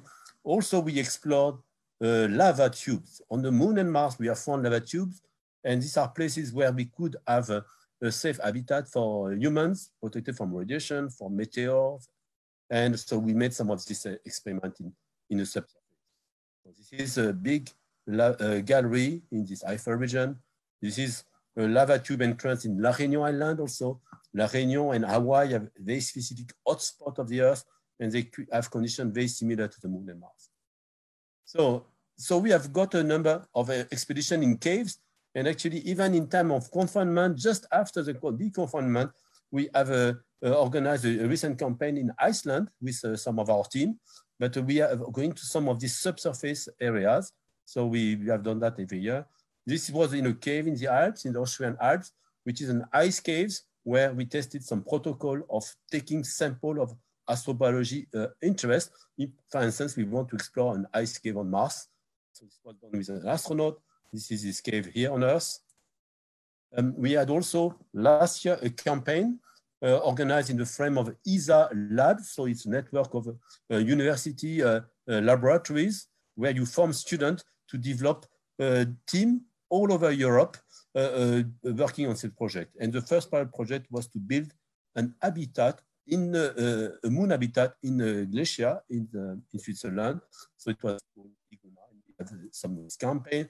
So you had the robots, you had the growing plants, you had a number of experiments. We even brought our uh, moon landers there on the top of the glacier. We had uh, here some views from the, the campaign that we performed in Iceland. It's a great place that in some places look really like the moon with a volcanic world, but also uh, as ice. So it's very similar to Mars. So we have done a number of campaigns as well with uh, uh, some uh, uh, various groups, uh, Uh, like with Space Generation Advisory Council, with a group in Poland that developed an habitat in Poland. And this is, uh, we brought our lander there, but also we uh, had a confinement where you had this six crew spending two weeks on the moon. You see, they, the picture was taken before they went. They are still very happy. And actually, we took a picture after. They are still happy because we fed them with food grown on the place. And this is very important from the diet point of view, also from the psychological, they could take care of their plants. And we have done also this study, how it's important to bring with you a bit of your uh, uh, whole uh, uh Earth uh, when you go to the moon and Mars. We were also doing experiments where we learn how to grow plants out of, out of moon soil and in what condition you could develop some robotic gardener and helping the astronaut. So now I would like to end with uh, some of the latest stage of a new uh, uh, set of simulation we have performed in Hawaii, which is a very good analog for the moon and Mars. So this was performed on the, uh, near the summit of the Mauna Loa volcano, where uh, there is a base which was uh, built by the International Moon Base Alliance. It was used by NASA for long-term simulation of eight months, 12 months simulation. And now we have um, uh, you are using it mostly for short-term simulation of two weeks to uh, only a few months, in particular targeted uh, to develop new technologies, instruments, and also to learn how to live on the moon and Mars. So we have uh, uh, done some number of campaigns. Myself, I went there. I joined the Henk Rogers, with the owner of this uh, facility, but also he's the founder of the International Moon Base Alliance. And we brought some equipment there, drone, um, extravehicular activities, rover, the sample analysis instrument. We explored there the area. We discovered a number of lava tubes around. And then we uh, returned them now recurrently. And we are looking for volunteers for the next campaign, which we are organizing next year. So that's, a, uh, please, if you're interested, please contact us at Euromoon Mars. We look at a diversity of profile, all countries welcome. And uh, we have a campaign uh, of two weeks, but in particular, we'll have a one Euromoon Mars campaign at the end of the year. So you go, you arrive there, we have a uh, um, this is inside the moon base. a good life, you know, it's a good equipment, perform research. Also, also, this is a view of the moon base from space. And you can see the it's all, all sustainable uh, with solar panels. It can have its own energy. And uh, we try also to test their technologies for sustainable, uh, um, uh, sustainable development that will be of interest also in other extreme places on Earth. So uh, there we build also a, a, mission control that in Blue Planet, uh, an area which is a bit lower in Hawaii, and I've been serving as a flight control director there and letting my students to do the hard work of astronaut and EVA after I've done it the year before. But uh, they have some good time. They learn how to cook food out of space ingredients. So they make bread only of, uh, of a dry uh, food. So that's, that's we, we try to maintain them in good psychological uh, profile in, in confinement. That's good lesson they've learned also for this hard time we have now with COVID. And then we have some operation preparing for extravehicular activity. Here they had to uh, repair an antenna which broke down. Here they have to explore some uh, surface uh, lava, which uh, are very similar to what you would find on the moon. Here are two geology students that are making sample analysis. They discovered some lava tubes and they explore them inside, also testing new technologies for going under the surface. And uh, so that's uh, some of the geologists that work. They even found some microbial activities there that's very interesting in the in perspective of Mars. Here they are taking samples and um, so that day by day. And so uh, you are welcome to join that. And eventually we went to visit them inside the, the base with a real cosmonaut, Oleg Artemyev, that uh, has flown to the space station, with the inventor also of the game Tetris. And uh, uh, we went after this to bring some of this good uh, inspiration for uh, space and for use uh, to the governors of Hawaii in a special event that took place after this. So this is another aspect very important that we, we want to cultivate, how to engage all everybody, also talking to the politician, but also with outreach to the public. And we have also developed a special pilot project in the frame of a platform which is called Art Moon Mars, where we have a number of events, exhibitions, lectures with artists and designers. And this project is to send a moon gallery, the first museum on the moon. And we want to send 100 pieces of art to the surface of the moon. Now I am in contact with some lenders company and they ask me 1 million euro per kilo.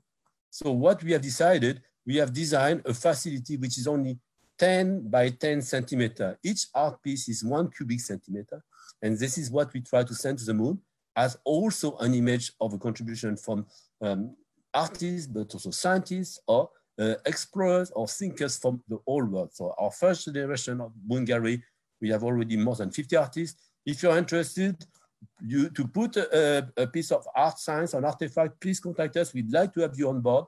And we have a, a number of ev events that we organize all over the world uh, at different places with uh, exhibition in big and the latest one was one we organized here in Amsterdam just after the end of the confinement where we were allowed again to have uh, some uh, meetings with social distance.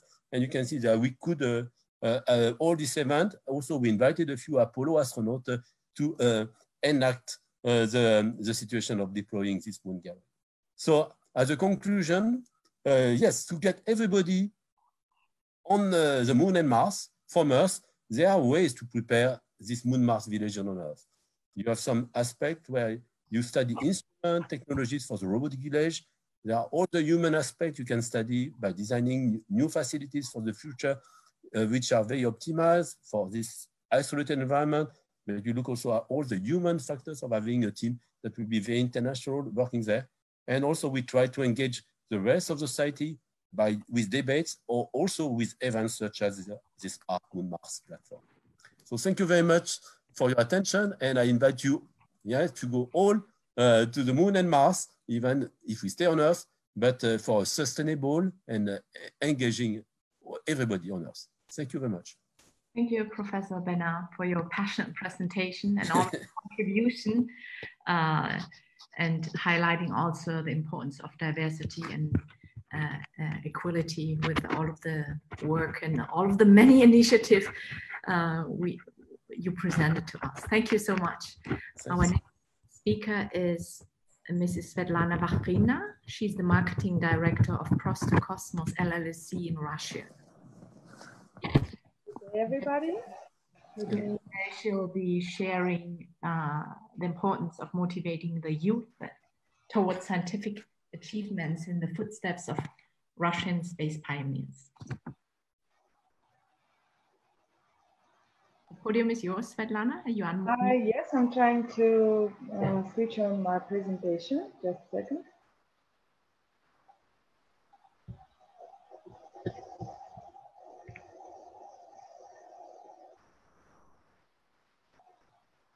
Can you see it now? Yes, yes. Um, full screen if you like. Okay. Um, first of all, it's an honor for me to participate in this e-symposium online Zoom meeting as we used to have for the recent two months or so. And it is an honor for me to be in a company of scientists, engineers, and um, valued persons. Uh, and to conclude this uh, symposium, uh, I would like to come back to the to the beginning uh, to the beginning of space, of space discoverings. And uh, as you all know, uh, the Soviet Union, the, now Russia, uh, was uh, one of pioneers in discovering space. Uh, so my topic today is how to motivate the young generation, the youth, towards scientific achievements uh, following the steps of Russian space pioneers.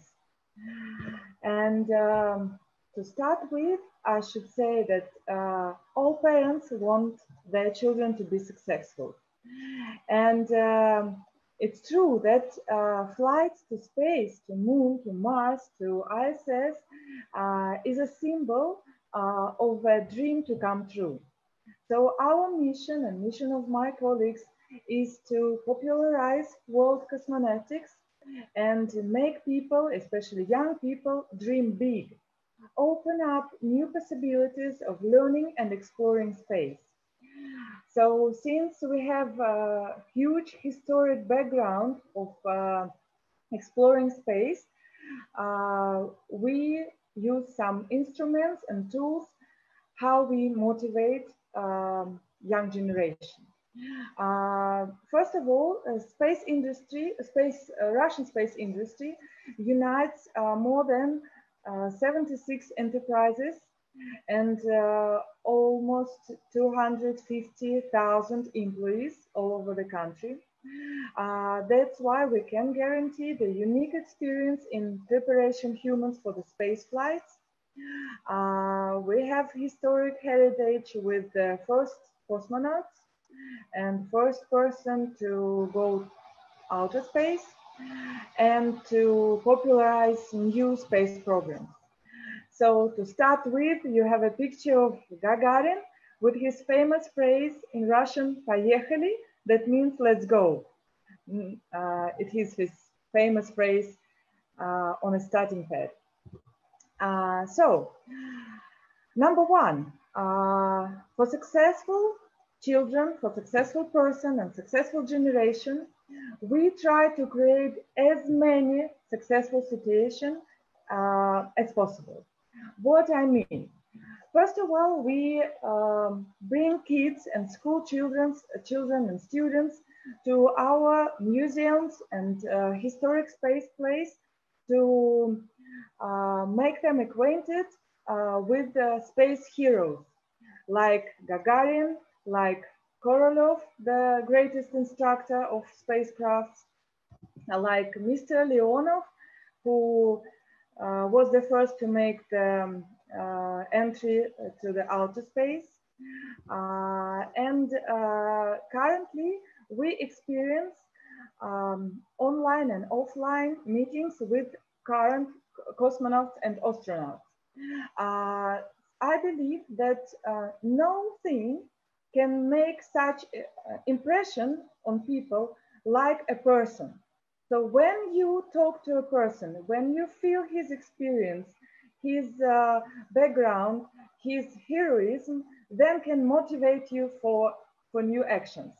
So one of instruments is to meet real cosmonauts, real engineers, real people who into the industry right now. Uh, as one of the target places uh, is uh, the uh, Gagarin Cosmonaut Training Center, uh, which we call the place of birth of space uh, industry in Russia and all over the world. This is the place where humans are still getting ready for their space flight. Uh, for students and school children, we uh, worked out a special, um, a special program which we call International Space Camp, which unite um, their um, real world um, experience with science, technology, engineering, math, astronomy, and also see how uh, humans can be ready for the flight. So this is one of the highlights, highlights to visit and to feel uh, the real place of space. So uh, how can I tell? Uh, number two, uh, instrument of motivation.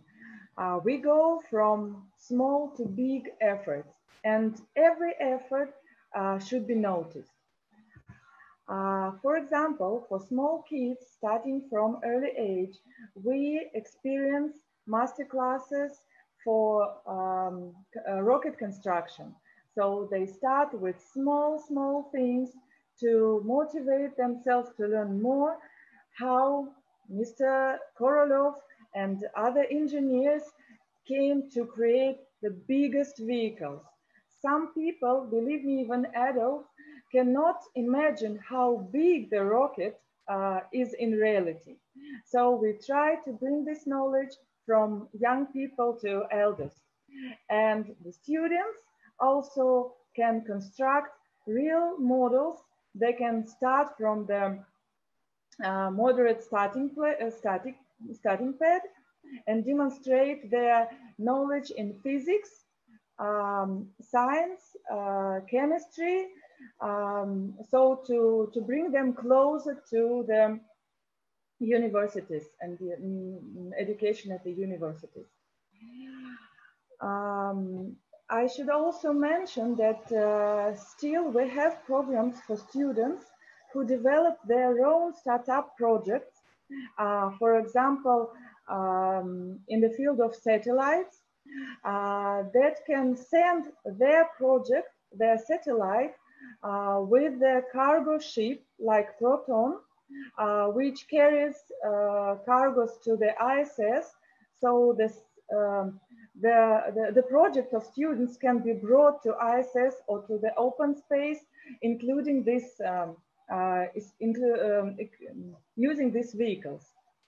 And still Russia has big opportunities for student startups and student projects uh, what they bring you, we can show them in reality how this can work. Um, then uh, number three, what we use uh, for motivation is uh, turn failures uh, into, um, into successful points. Uh, I put picture of Elon Musk here to demonstrate that yes, he is a a very famous person, but with some failures in his life that brought him to bigger success. Uh, so how we uh, implement it into reality is we bring kids and students uh, to uh, museums, to houses of um, Russian scientists, and uh, especially to the Gagarin Training Center, Gagarin Cosmonaut Training Center, to show them the story of um, successful and unsuccessful um, cases in space. Uh, we all know and why we call cosmonauts and astronauts real heroes because they really uh, rely their lives on the shoulders of engineers and scientists um, to, to test the vehicle, to test the rocket, and to make some experiments uh, in ISS or in uh, outer space. So we would like kids and students uh, to know the, uh, the history of successful and unsuccessful stories and to understand that sometimes mistakes uh, can somehow stop um, the development of some pro program, but still uh, be the clue for the bigger success in, in the future. Um, in, in Moscow, uh, we have some um, places uh, must visit, so to say. It is the State Museum of Cosmonautics, uh, the Museum of uh, Astronomy, the House of Korolev and Gagarin, and the whole city, which we call Star City, uh, where the Gagarin Cosmonaut Training Center is located.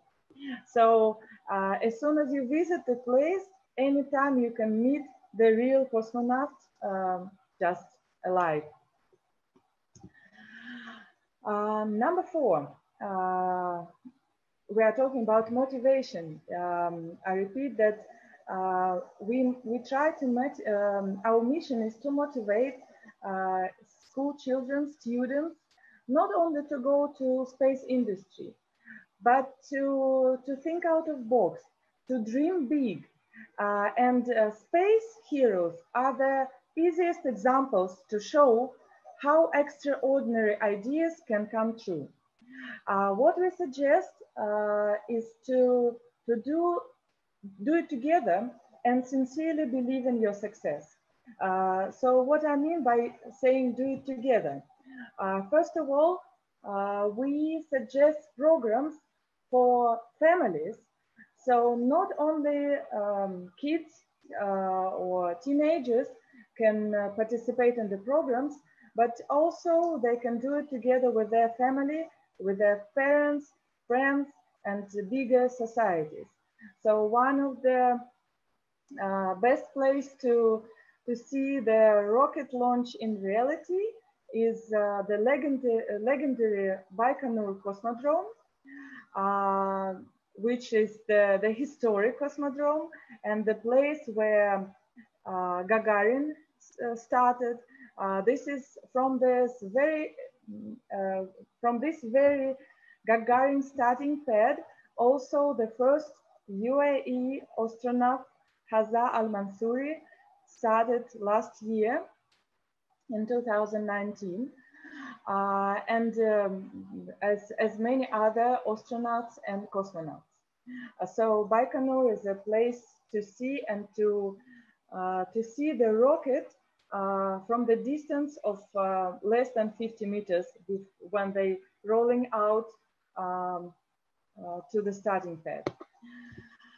Uh, we do it together with families, uh, and this is a picture demonstrating uh, the whole family to see the uh, mission control center and also Cosmodrome. Uh, we do um, corporate and family flights in zero gravity.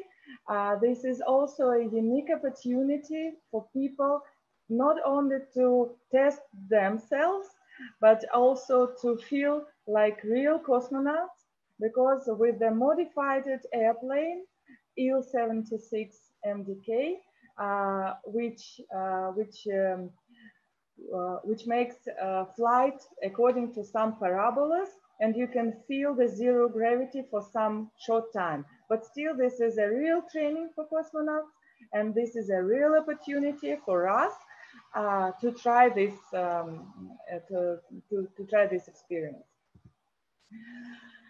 And the last one uh, is um, is you if you dream big, then your victory must be significant. Uh, so, as an example of uh, Hazza Al-Mansouri, the first UAE um, uh, astronaut, uh, demonstrates that if you want something, you will achieve it. Uh, and after a year of training at the Gagarin Cosmonaut Training Center, uh, Mr. Hazza Al-Mansouri with uh, his backup astronaut uh, finally uh, appeared to be at Baikonur and made his first flight. Uh, I do hope not the last one, and we uh, welcome uh, uh, Emirati astronauts and guests from UAE and other countries. and also, we try to bring closer family stories. on this picture, you see Mr. Uh, This is our famous cosmonaut with his daughter who is saying goodbye to his father before the flight.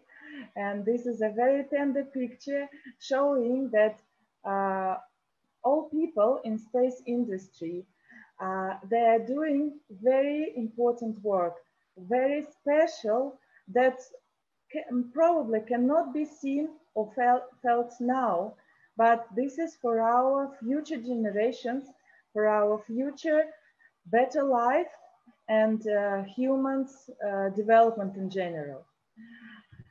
Uh, so to conclude my uh, presentation, I would like to highlight uh, what background uh, we, we have to motivate people, to motivate young generation to stay with science, first of all, to stay with space industry and to dream big and bigger and bigger every day. So we have uh, meetups with cosmonauts and astronauts. Uh, in uh, Moscow and the Moscow area, we have biggest space museum in the world. Uh, we have the Gagarin Cosmonaut Training Center, where you can really feel like a real cosmonaut and it's open to public and international guests. Uh, Baikonur, the legendary cosmodrome, must visit place as long as uh, Cape Canaveral and um, other cosmodromes uh, all, all, over the world. Uh, zero gravity as the extreme experience for individuals and groups. Uh, for school children, uh, for school children and students, we do organize international space camps and international um, convents and competitions for students, starting from easy tasks to very difficult projects with uh, rocket constructing and biological and um, chemistry tests.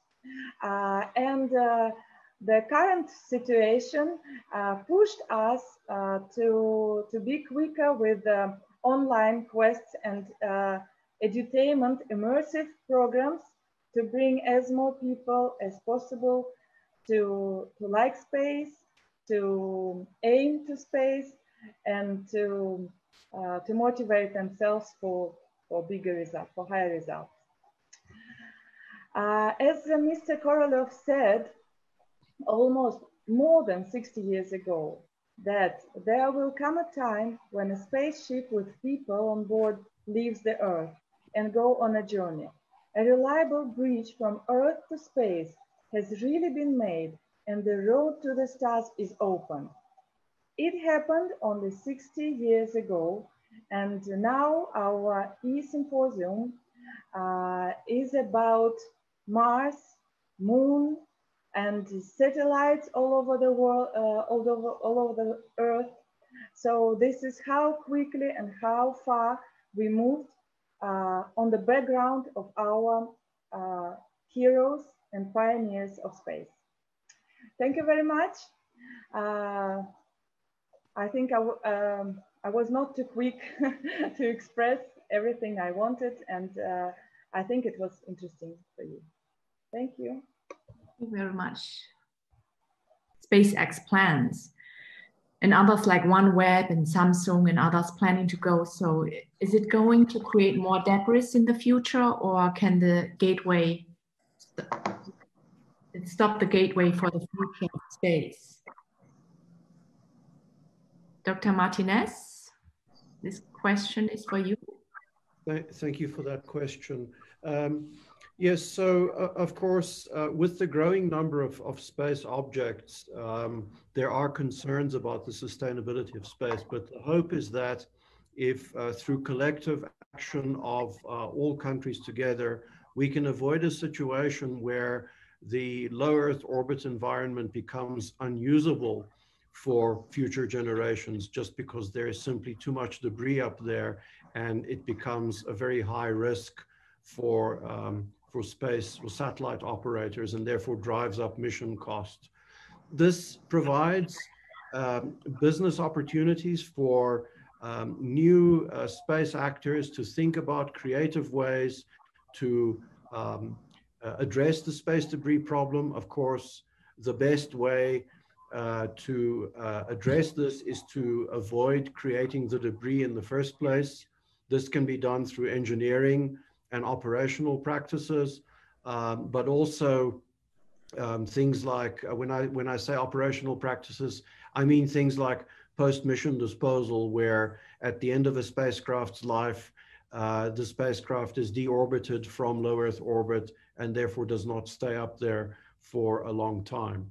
Um, there has been for many years a uh, what is called a 25-year rule uh, for post-mission uh, um, uh, duration in orbit. Actually, this is not an international uh, um, uh, rule at all. It's, it's something that is just widely accepted, but there is a growing view that the post-mission life of objects in low Earth orbit should be far shorter than that, possibly um, you know, less, less than five years even. Um, so uh, through, through a number of policy and, and uh, technical measures, uh, we hope that it will be possible to keep the low Earth orbit environment uh, usable uh, as we see more and more space actors entering space. Thank you, uh, Dr. Martinez. Here's a question for the space tech speakers. How can space-based technology be valuable uh, to farmers, agronomists, food manufacturers, and agricultural policymakers who wish to enhance production and profit, profitability simultaneously. Whoever chooses to answer the question, please unmute yourself. Perhaps uh, Mr. Masayuki, is he still in the symposium? He is, yes. Or Ms. Cefalo?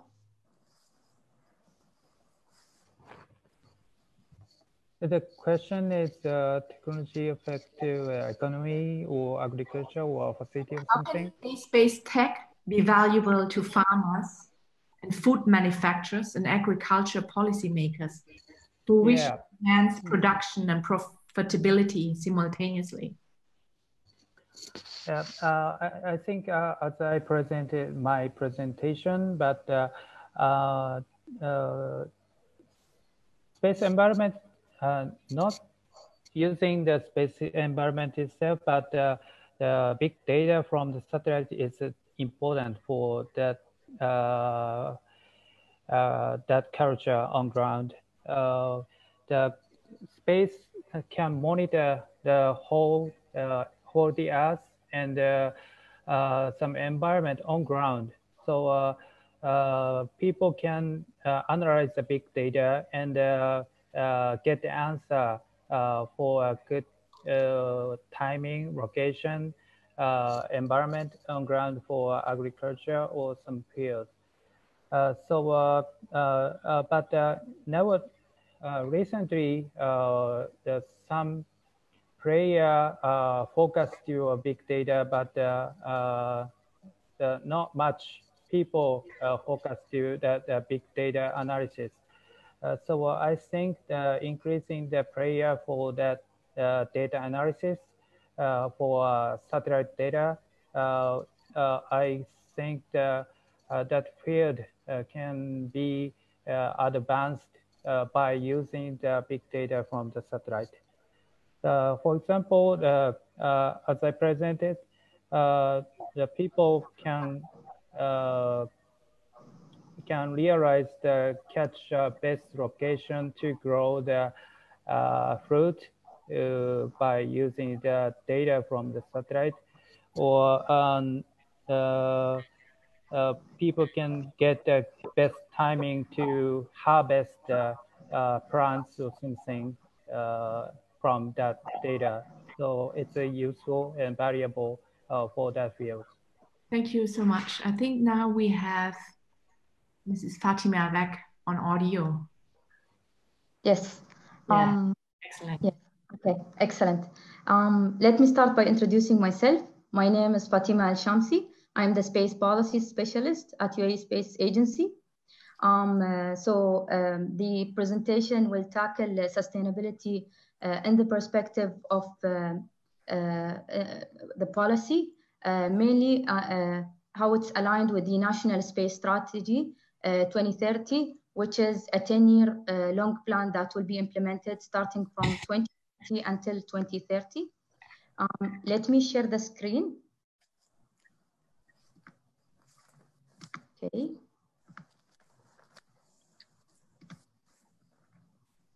Is it good now?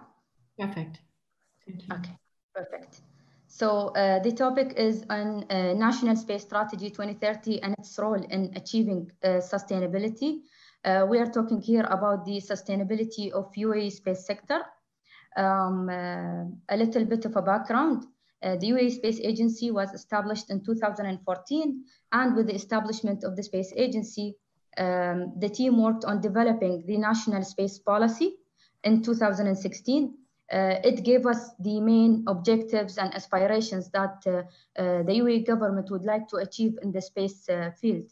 And of course, prior to the establishment of the space agency, there were tremendous efforts being conducted by various stakeholders, such as Mohammed bin Rashid Space Center or Yahsat, in the field of uh, space, but uh, at their own specific uh, working domain.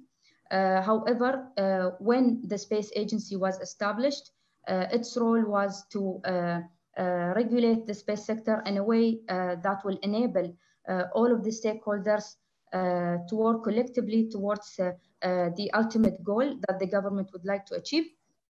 Now, in 2016, when the national space policy was published, it did give us the house or the tools that will uh, Uh, allow us uh, to achieve uh, uh those aspirations. Uh, this was the outcome that led us to develop the National Space Strategy 2030. it was approved in 2019. It includes six strategic objectives and 71 initiatives. those 71 initiatives will be uh, implemented by the UAE Space Agency and the various stakeholders in the uh, UAE space economy uh, mainly uh, until the year of 2030. Uh, I'll walk you through fairly quickly on the development of this strategy. Um, so the aim of this strategy is to ensure a sustainable progress of our space sector and uh, when we started developing this, the, the strategy, uh, we ensured that we take input from all of the experts within the domain and as well as uh, at an international level. So as you can see, uh, uh, we have an advisory committee at the agency. their input was taken into consideration at the development phase. also, we have our key partners such as Mohammed bin Rashid Space Center, uh, Thuraya, the TRA, and uh, Yahsat, for example. they were uh, hand in hand with us uh, at the development, as well as uh, other entities that are not specifically from the space sector, but they play a key role in enabling the achievement of the objectives. Um, uh, now, of course, with the establishment of the agency uh, and uh, the drafting of the strategy itself, we had an exercise.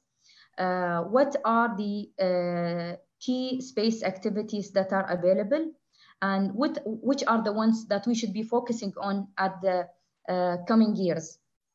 Now, as you can see in the screen, we have identified 23 space activities. And uh, uh, for these 23 space activities, we did an internal assessment.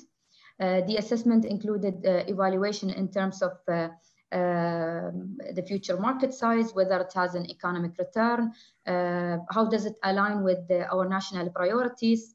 And uh, when we when we uh, we completed the exercise, we came up with 13 space activities. Those 13 space activities will drive the, the initiatives of this of this strategy for the next 10 years. So they will be the core focus for the agency in the coming years. As you can see, um, uh, one of the main areas uh, that we are focused on is uh, R&D. Uh, this is collectively uh, being focused by the space agency, Mohammed bin Rashid Space Center, um, the academic sector. they will all enable us achieve the core objectives of this activity or area.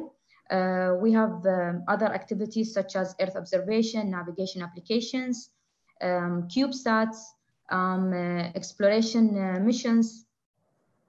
Um, um, let me for, uh, let me uh, go forward with the slide, and then I will uh, show you the mapping of how how does it align with the outcome, the final outcome that came after this exercise.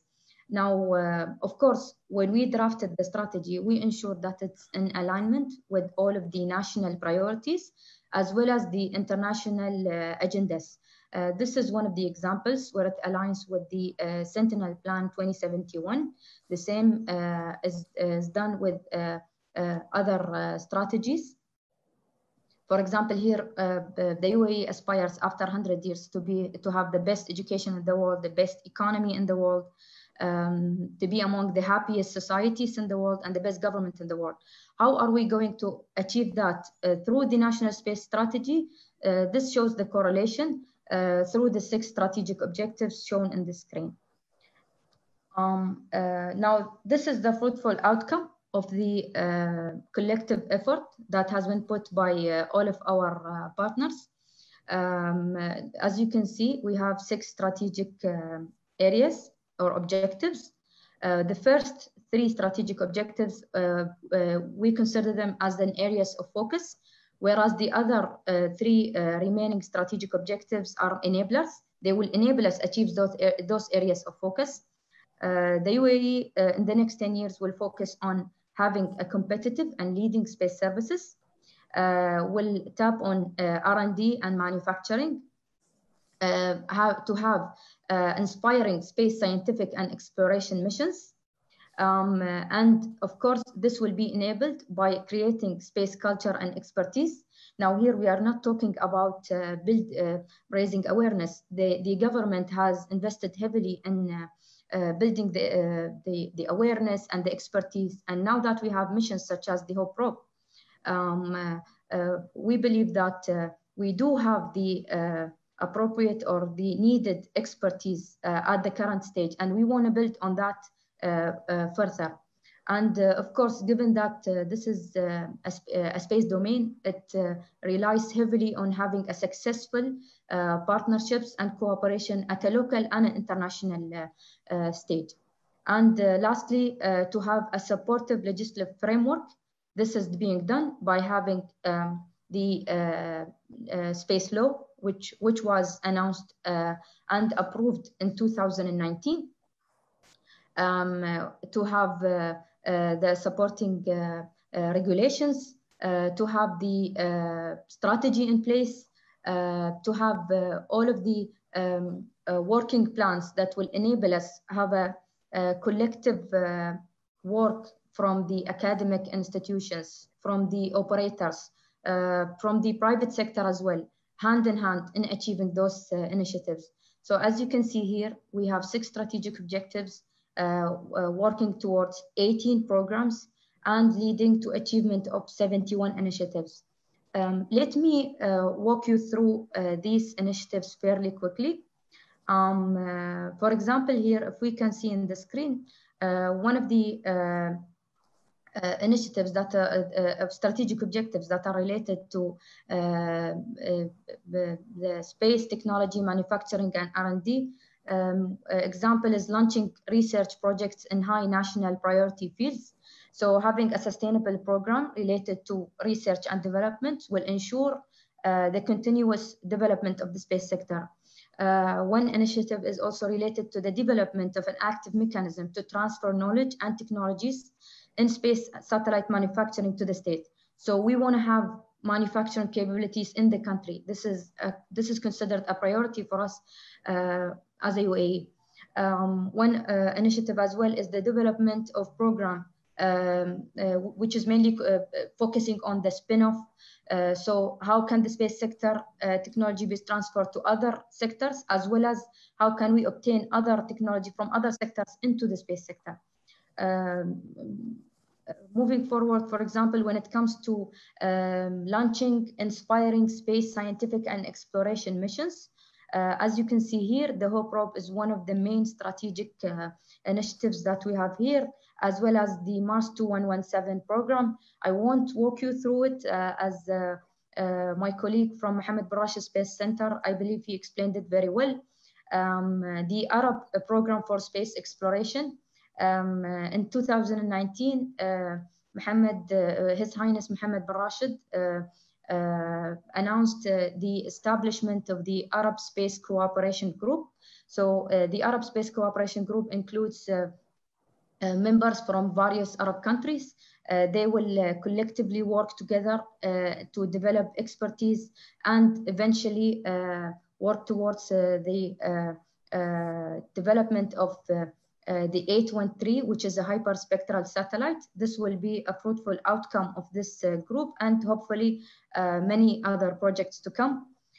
Um, uh, now, uh, of course, oh, how are we going to achieve a sustainable space program without retaining the expertise needed locally? Uh, one example is stimulating and retaining space sector personnel while taking gender balance into consideration. Uh, this is a high priority for the UAE, and uh, this is this can be profoundly uh, noticed uh, at the UAE, uh, at the space agency level. We have a, um, a fairly balanced. Uh, gen, when it comes to gender balance consideration in the employment rate. Um, we have, in terms of the development of expertise, we have scholarship programs. Uh, we have uh, initiatives that are related to raising awareness, summer camps, um, winter camps. Um, we, we have training programs. So all of these initiatives, as well as uh, competitions, will enrich the fact that uh, uh, building expertise is a high priority for the government. when it comes to effective local and international partnerships, uh, one example of uh, where we can um, tap on sustainability is for uh, the join, joining of international alliances for the exchange of space data and expertise related to the protection of environment and management of disasters and crises. Uh, as you know, the UAE is a signatory and a member of the Disaster Charter. This is one example, uh, and uh, um, um, our presence in the international uh, platform, we all we uh, assure uh, our um, support to sustainability and its initiatives. Um, last but not least is ensuring a supportive legislative framework and infrastructure to match the future uh, development in the sector. Uh, my example here is the initiative of the development of a regulatory framework for the space sector uh, to, and to monitor the compliance. Um, this is, um, let me be specific. Now here we are not talking about just monitoring the compliance. We want to make uh, the UAE as attractive, uh, to have an attractive environment as much as possible. Uh, this will not uh, only support uh, the uh, national prog space program in itself, but also will make it an attractive environment for the private sector to facilitate their activities in the country as well as for other international uh, uh, uh, agencies to consider or entities, whether it's private or or or from any other domain to open new branches in the UAE. Uh, this is uh, an example, uh, as you see in the picture on the left. this is the event that we had in 2019. Uh, we have we held uh, several uh, workshops related to space law. we had the launch re recently. I would say um, two weeks back.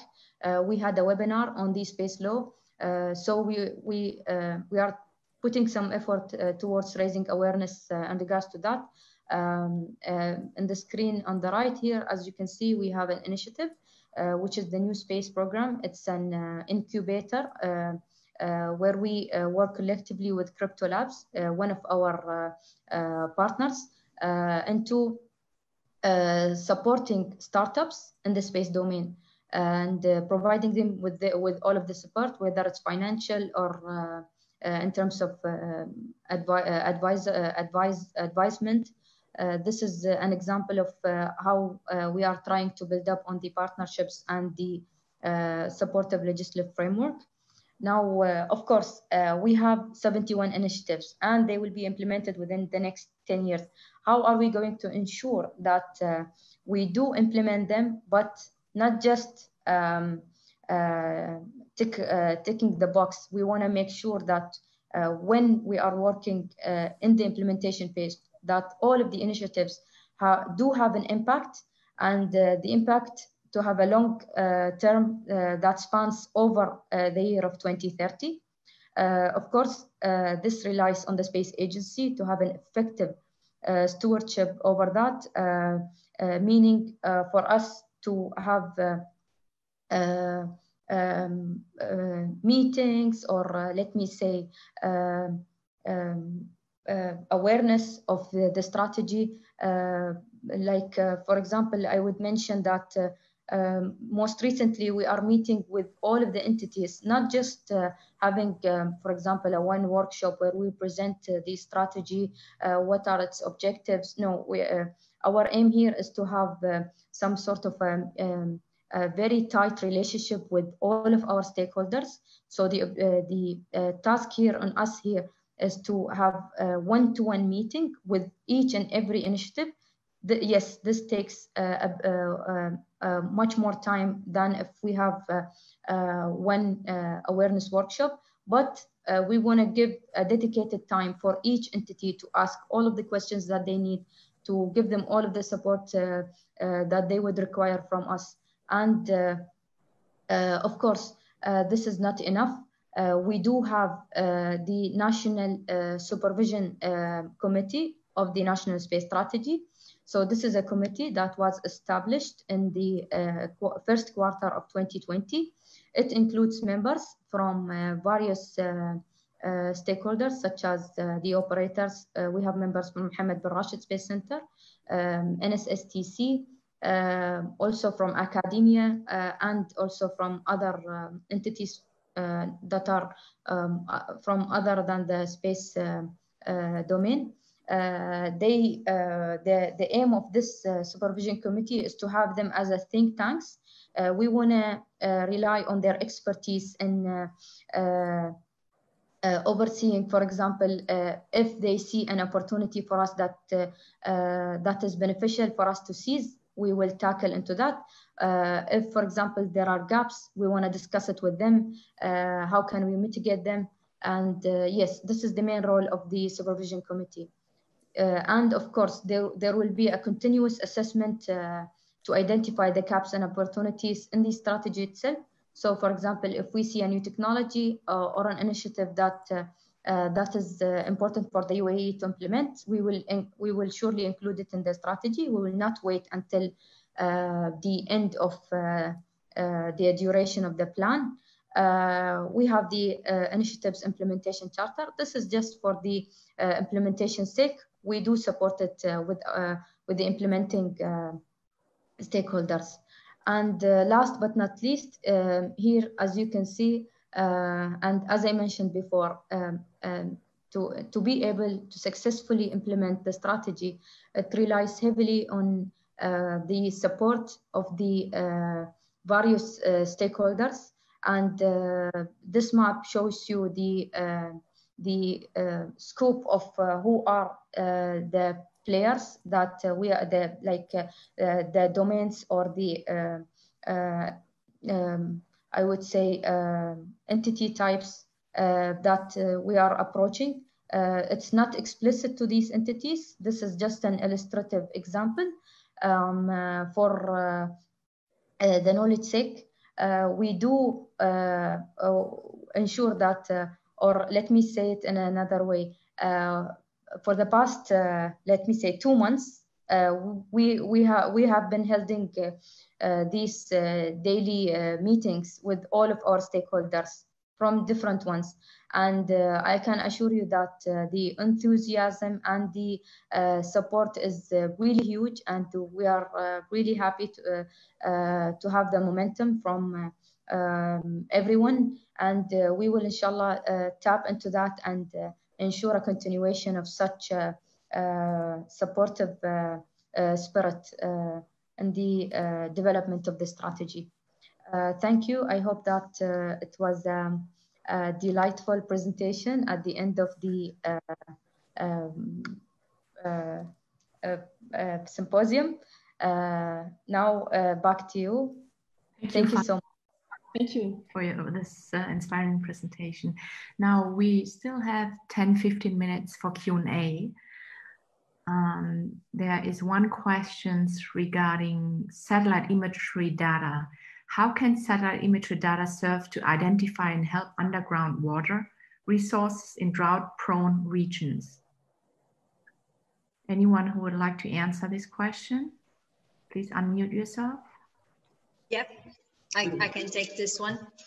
Uh, yeah, we, we can both add some some information. So um, as I was saying before, it is extremely um, it, one of the main uh, mission actually of uh, satellite data and uh, remote sensing system. It is water uh, and management identification. So uh, there are on the, the telecommunication spacecraft, there are different payloads with different cameras and each of them has is tapping into different microwaves so that you can get the information out of them.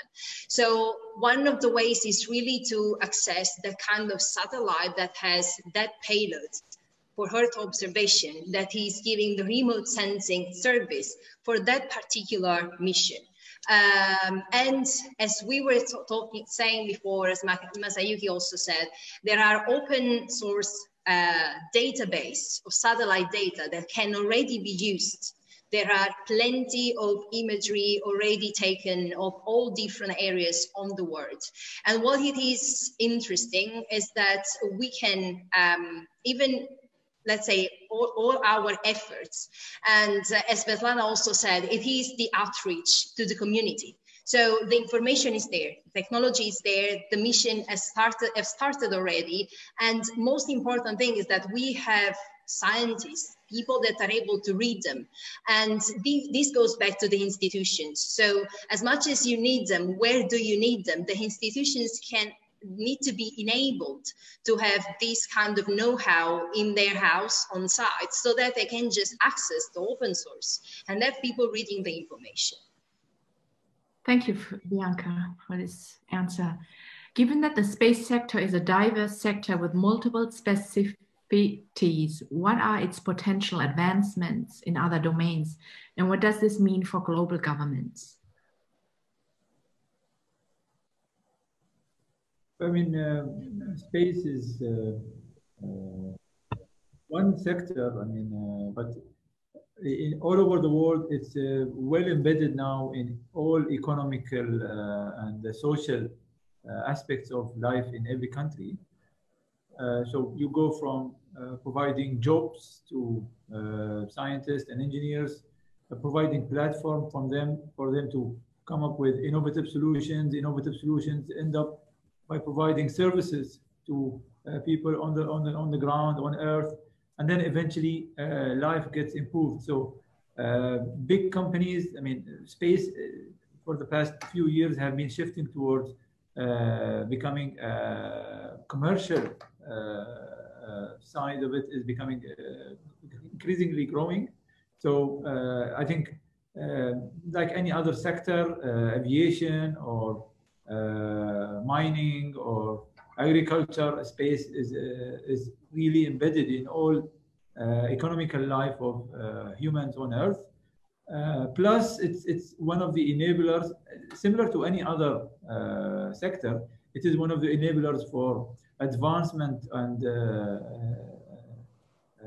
improvement of life, like any other sector. So I don't think we can live without space. I don't think we can live without any uh, diverse solutions that space provide. A lot of people maybe question the need for exploration. it's uh, it's always a question why we need to go to to to, to moon or Mars. What? Okay. What, yeah, maybe, but, uh, yeah. Not, can, yes, I would like to say that in this point, space can give even more than some of the other sectors because science that uh, you can perform with uh, exploration uh, can really be used by everybody. It can be used for new knowledge, but also to train the new brains and to give challenge to the to the youth to learn more. That's very important. But also it creates some technical challenge. You know, for instance, we want to miniaturize things. Uh, we want to uh, learn how to live in extreme environment. So these are also technical challenge that all over the world, uh, some uh, brilliant mind and good hands, they can uh, try to solve. And another challenge, it teaches us to work together all over the world. And this is also very important, how we build peace, how we work as a team to do science or to make business, or also just to have some peaceful venture. So in this area, that's something where science and exploration can really, uh, really help all over the world. That's why we think that science uh, technologies are really part of this uh, big moon village where everybody would be involved. Thank you, Bernard. Not something, you know, the diversity is not only coming from the peace and, poli and politics, but it's also diversity of new skills. Because there is this myth about just being an engineer or just being a scientist, or actually not. You can be a psychologist, you can be a, a, a yeah. doctor, you can be a fashion designer, because we will need to design clothing for people on other habits. Yeah you can be an artist you can be yeah. anything that you can possibly think of and that's di- that diversity is enabling even the evolution of not only our minds but then our tech outside the earth. Thank you certainly yeah. about the use of space in military purposes? How can we deal with this competition and how countries can work together to avoid this kind of competition? What is the impact on the future of the space industry? So I have a little, some answer on this. From the legal part, for instance, uh, the Outer Space Treaty prevent to have military activities on the moon. So this is covered. But the military activities are crucial to establish, you know, our safety. And uh, part of the military activities have been also instrument to develop new technologies. So some of this budget from the military, we want to use for exploration, for learning to work together, you know, a peaceful enterprise like the International Space Station, which was also built a bit with some military uh, investment, this has some peaceful purpose. So there is part of the goal of being safer that can be addressed by using some of the military budget to the sake of doing uh, science to, together, uh, by getting teams all over the world to, to work together, by also educating uh, uh, youngsters all over the world that we have to serve a peaceful world. Thank you, Bernard. Should we behave ethically in space, or should intellectual, oh. or should intellectual, scientific, and profit-driven factors override ethical obligation to protect space and other planets? Uh, uh, I would like to add to the previous question: uh, is that um, historically uh, our progress in space was based on the military uh, purposes. So nobody was uh, aimed at discovering space, giving internet to everybody, and to find lives on other planets. Um, but from this point of view, uh, military purposes bring, brought us to civil um, usage of space. Mm. So currently in, uh, uh, in our modern times, I think all countries and international cooperation must be aimed for cooperation. Sorry to, to say it again. Yes, uh, and for civil exploration and to bring uh, knowledge for expanding human lives to other planets and to live in, in peace on Earth and uh, other planets. Yeah, Space Force for peace and science and for benefit for everybody. Thank you. Go uh, back. I, I, I think that I know the, the historical uh, development for space related to uh, military, I know. Uh, but uh, I, I think uh, nowadays the businessman focus notice to space development. it is very good situation for advancing the space field uh, because uh, uh, they want to use the space environment or data from the satellite for economic or um, improvement life on the Earth.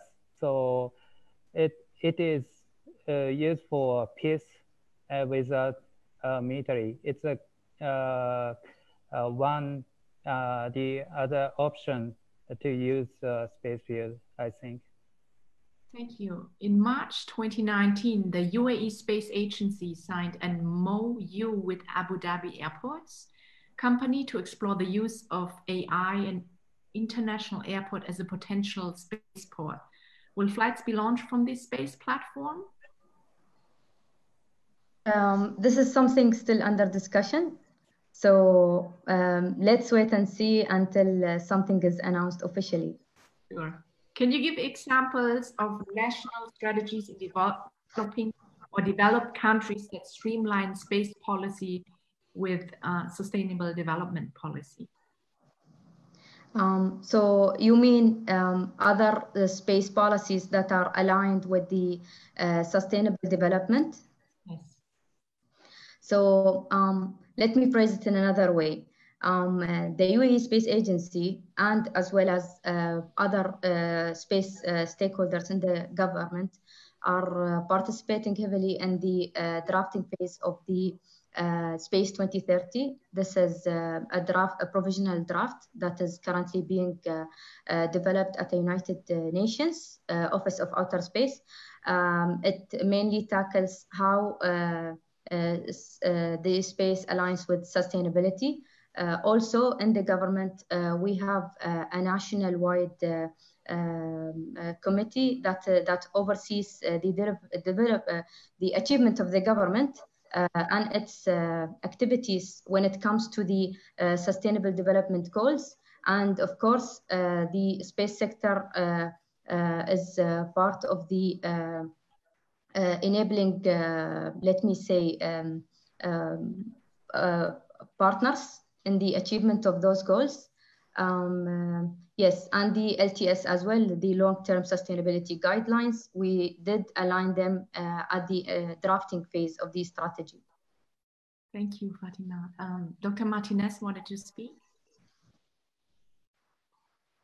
Thank you. Uh, Thanks for giving me the floor. So I, um, I just wanted to go back to this earlier question about the military uses of space. And, and certainly uh, I agree with all the other speakers uh, on the panel that the military has always had a very, very strong uh, role to play in the development of space technologies, uh, going back to the earliest days of the space age. And many of the systems that uh, we rely on, like GNSS, have been developed for military purposes. But um, if we go back to one of the slides I showed in my presentation, where we see that the commercial sector is now a very significant user of space, we are seeing many new kinds of space activities and um, a growing um, uh, congestion and, and contestation of these uh, limited natural resources of the space environment, which we can all use for peaceful purposes and for the benefit of all nations. And so therefore, it's very important that we have clear uh, rules of the road for military and civilian users of space so that we avoid uh, situations that could lead to potential conflict because um, the, the last thing we want to see is uh, conflict in outer space that uh, creates uh, debris and, uh, and, and makes the environment unusable for, for all other space actors. And so this is one area where I think uh, all users of space, both military and civilian, have common cause to discuss the development of norms of responsible behavior so that we all know and understand what responsible behavior is and looks like, and more importantly, what it does not look like. Thank you, Dr. Martinez. Um, here's the last questions before the closing remarks how can space missions be streamlined with SDGs to monitor natural resources and reduce poverty? Yeah, there are also already efforts that are undertaken by space agencies, but also by uh, uh, remote observing companies, you know, like Planet and others, to make available some of the data where uh, you can uh, monitor what is changing on Earth. I think that it's also very important that uh, we uh, help the users. We were talking about agriculture, but the citizen to have access to this data. And also we create an expertise in developing countries to uh, analyze this data and to create also some added service that can help to create uh, jobs all over the world because uh, clearly um, brilliant minds and uh, you know, courageous youngsters, you can find them all over the world. So if you give them some a bit of a seed training, some opportunities, they could really contribute also to the added value of all Earth observing uh, system. Thank you, Professor. Well, I know we're 10 minutes over time, ladies and gentlemen. So I think we've presented, you all have presented tremendous value through this two and a half hour long symposium. This symposium, whose main theme was the role of space in sustainable development. Uh, we hope uh, the participants understand the need of space for sustainable development and the need of exponential collaboration and cooperation. We also uh, share the need for uh, inspiring the future generation, the challenges and uh, solutions sustainability in our space. Um, I would like to pay my deep respect and gratitude to the organizers, Trends Research and Advisory, to all participants for your positive participation in the symposium and the and the good questions. Uh, I hope that what you have learned through the symposium will help you a lot in your future missions and will lead to a sustainable future of space for all and inspire the future generation. The final remarks will be delivered by Mr. Ahmed Al Asta, the scientific advisor for research and advisory. Thank you, uh.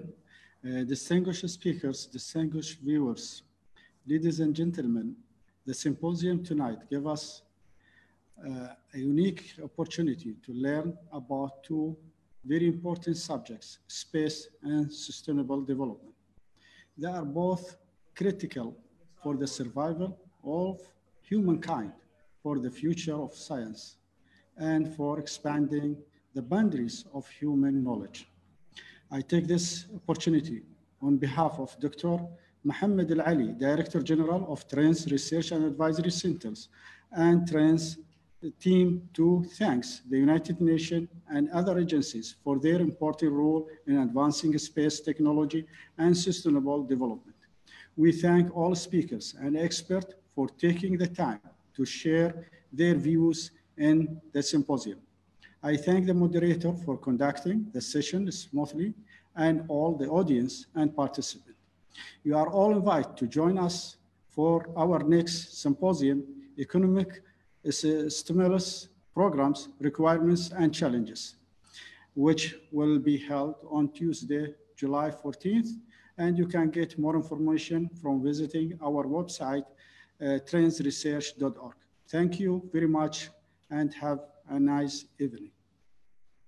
Thank you very much. Thank you. Thank you.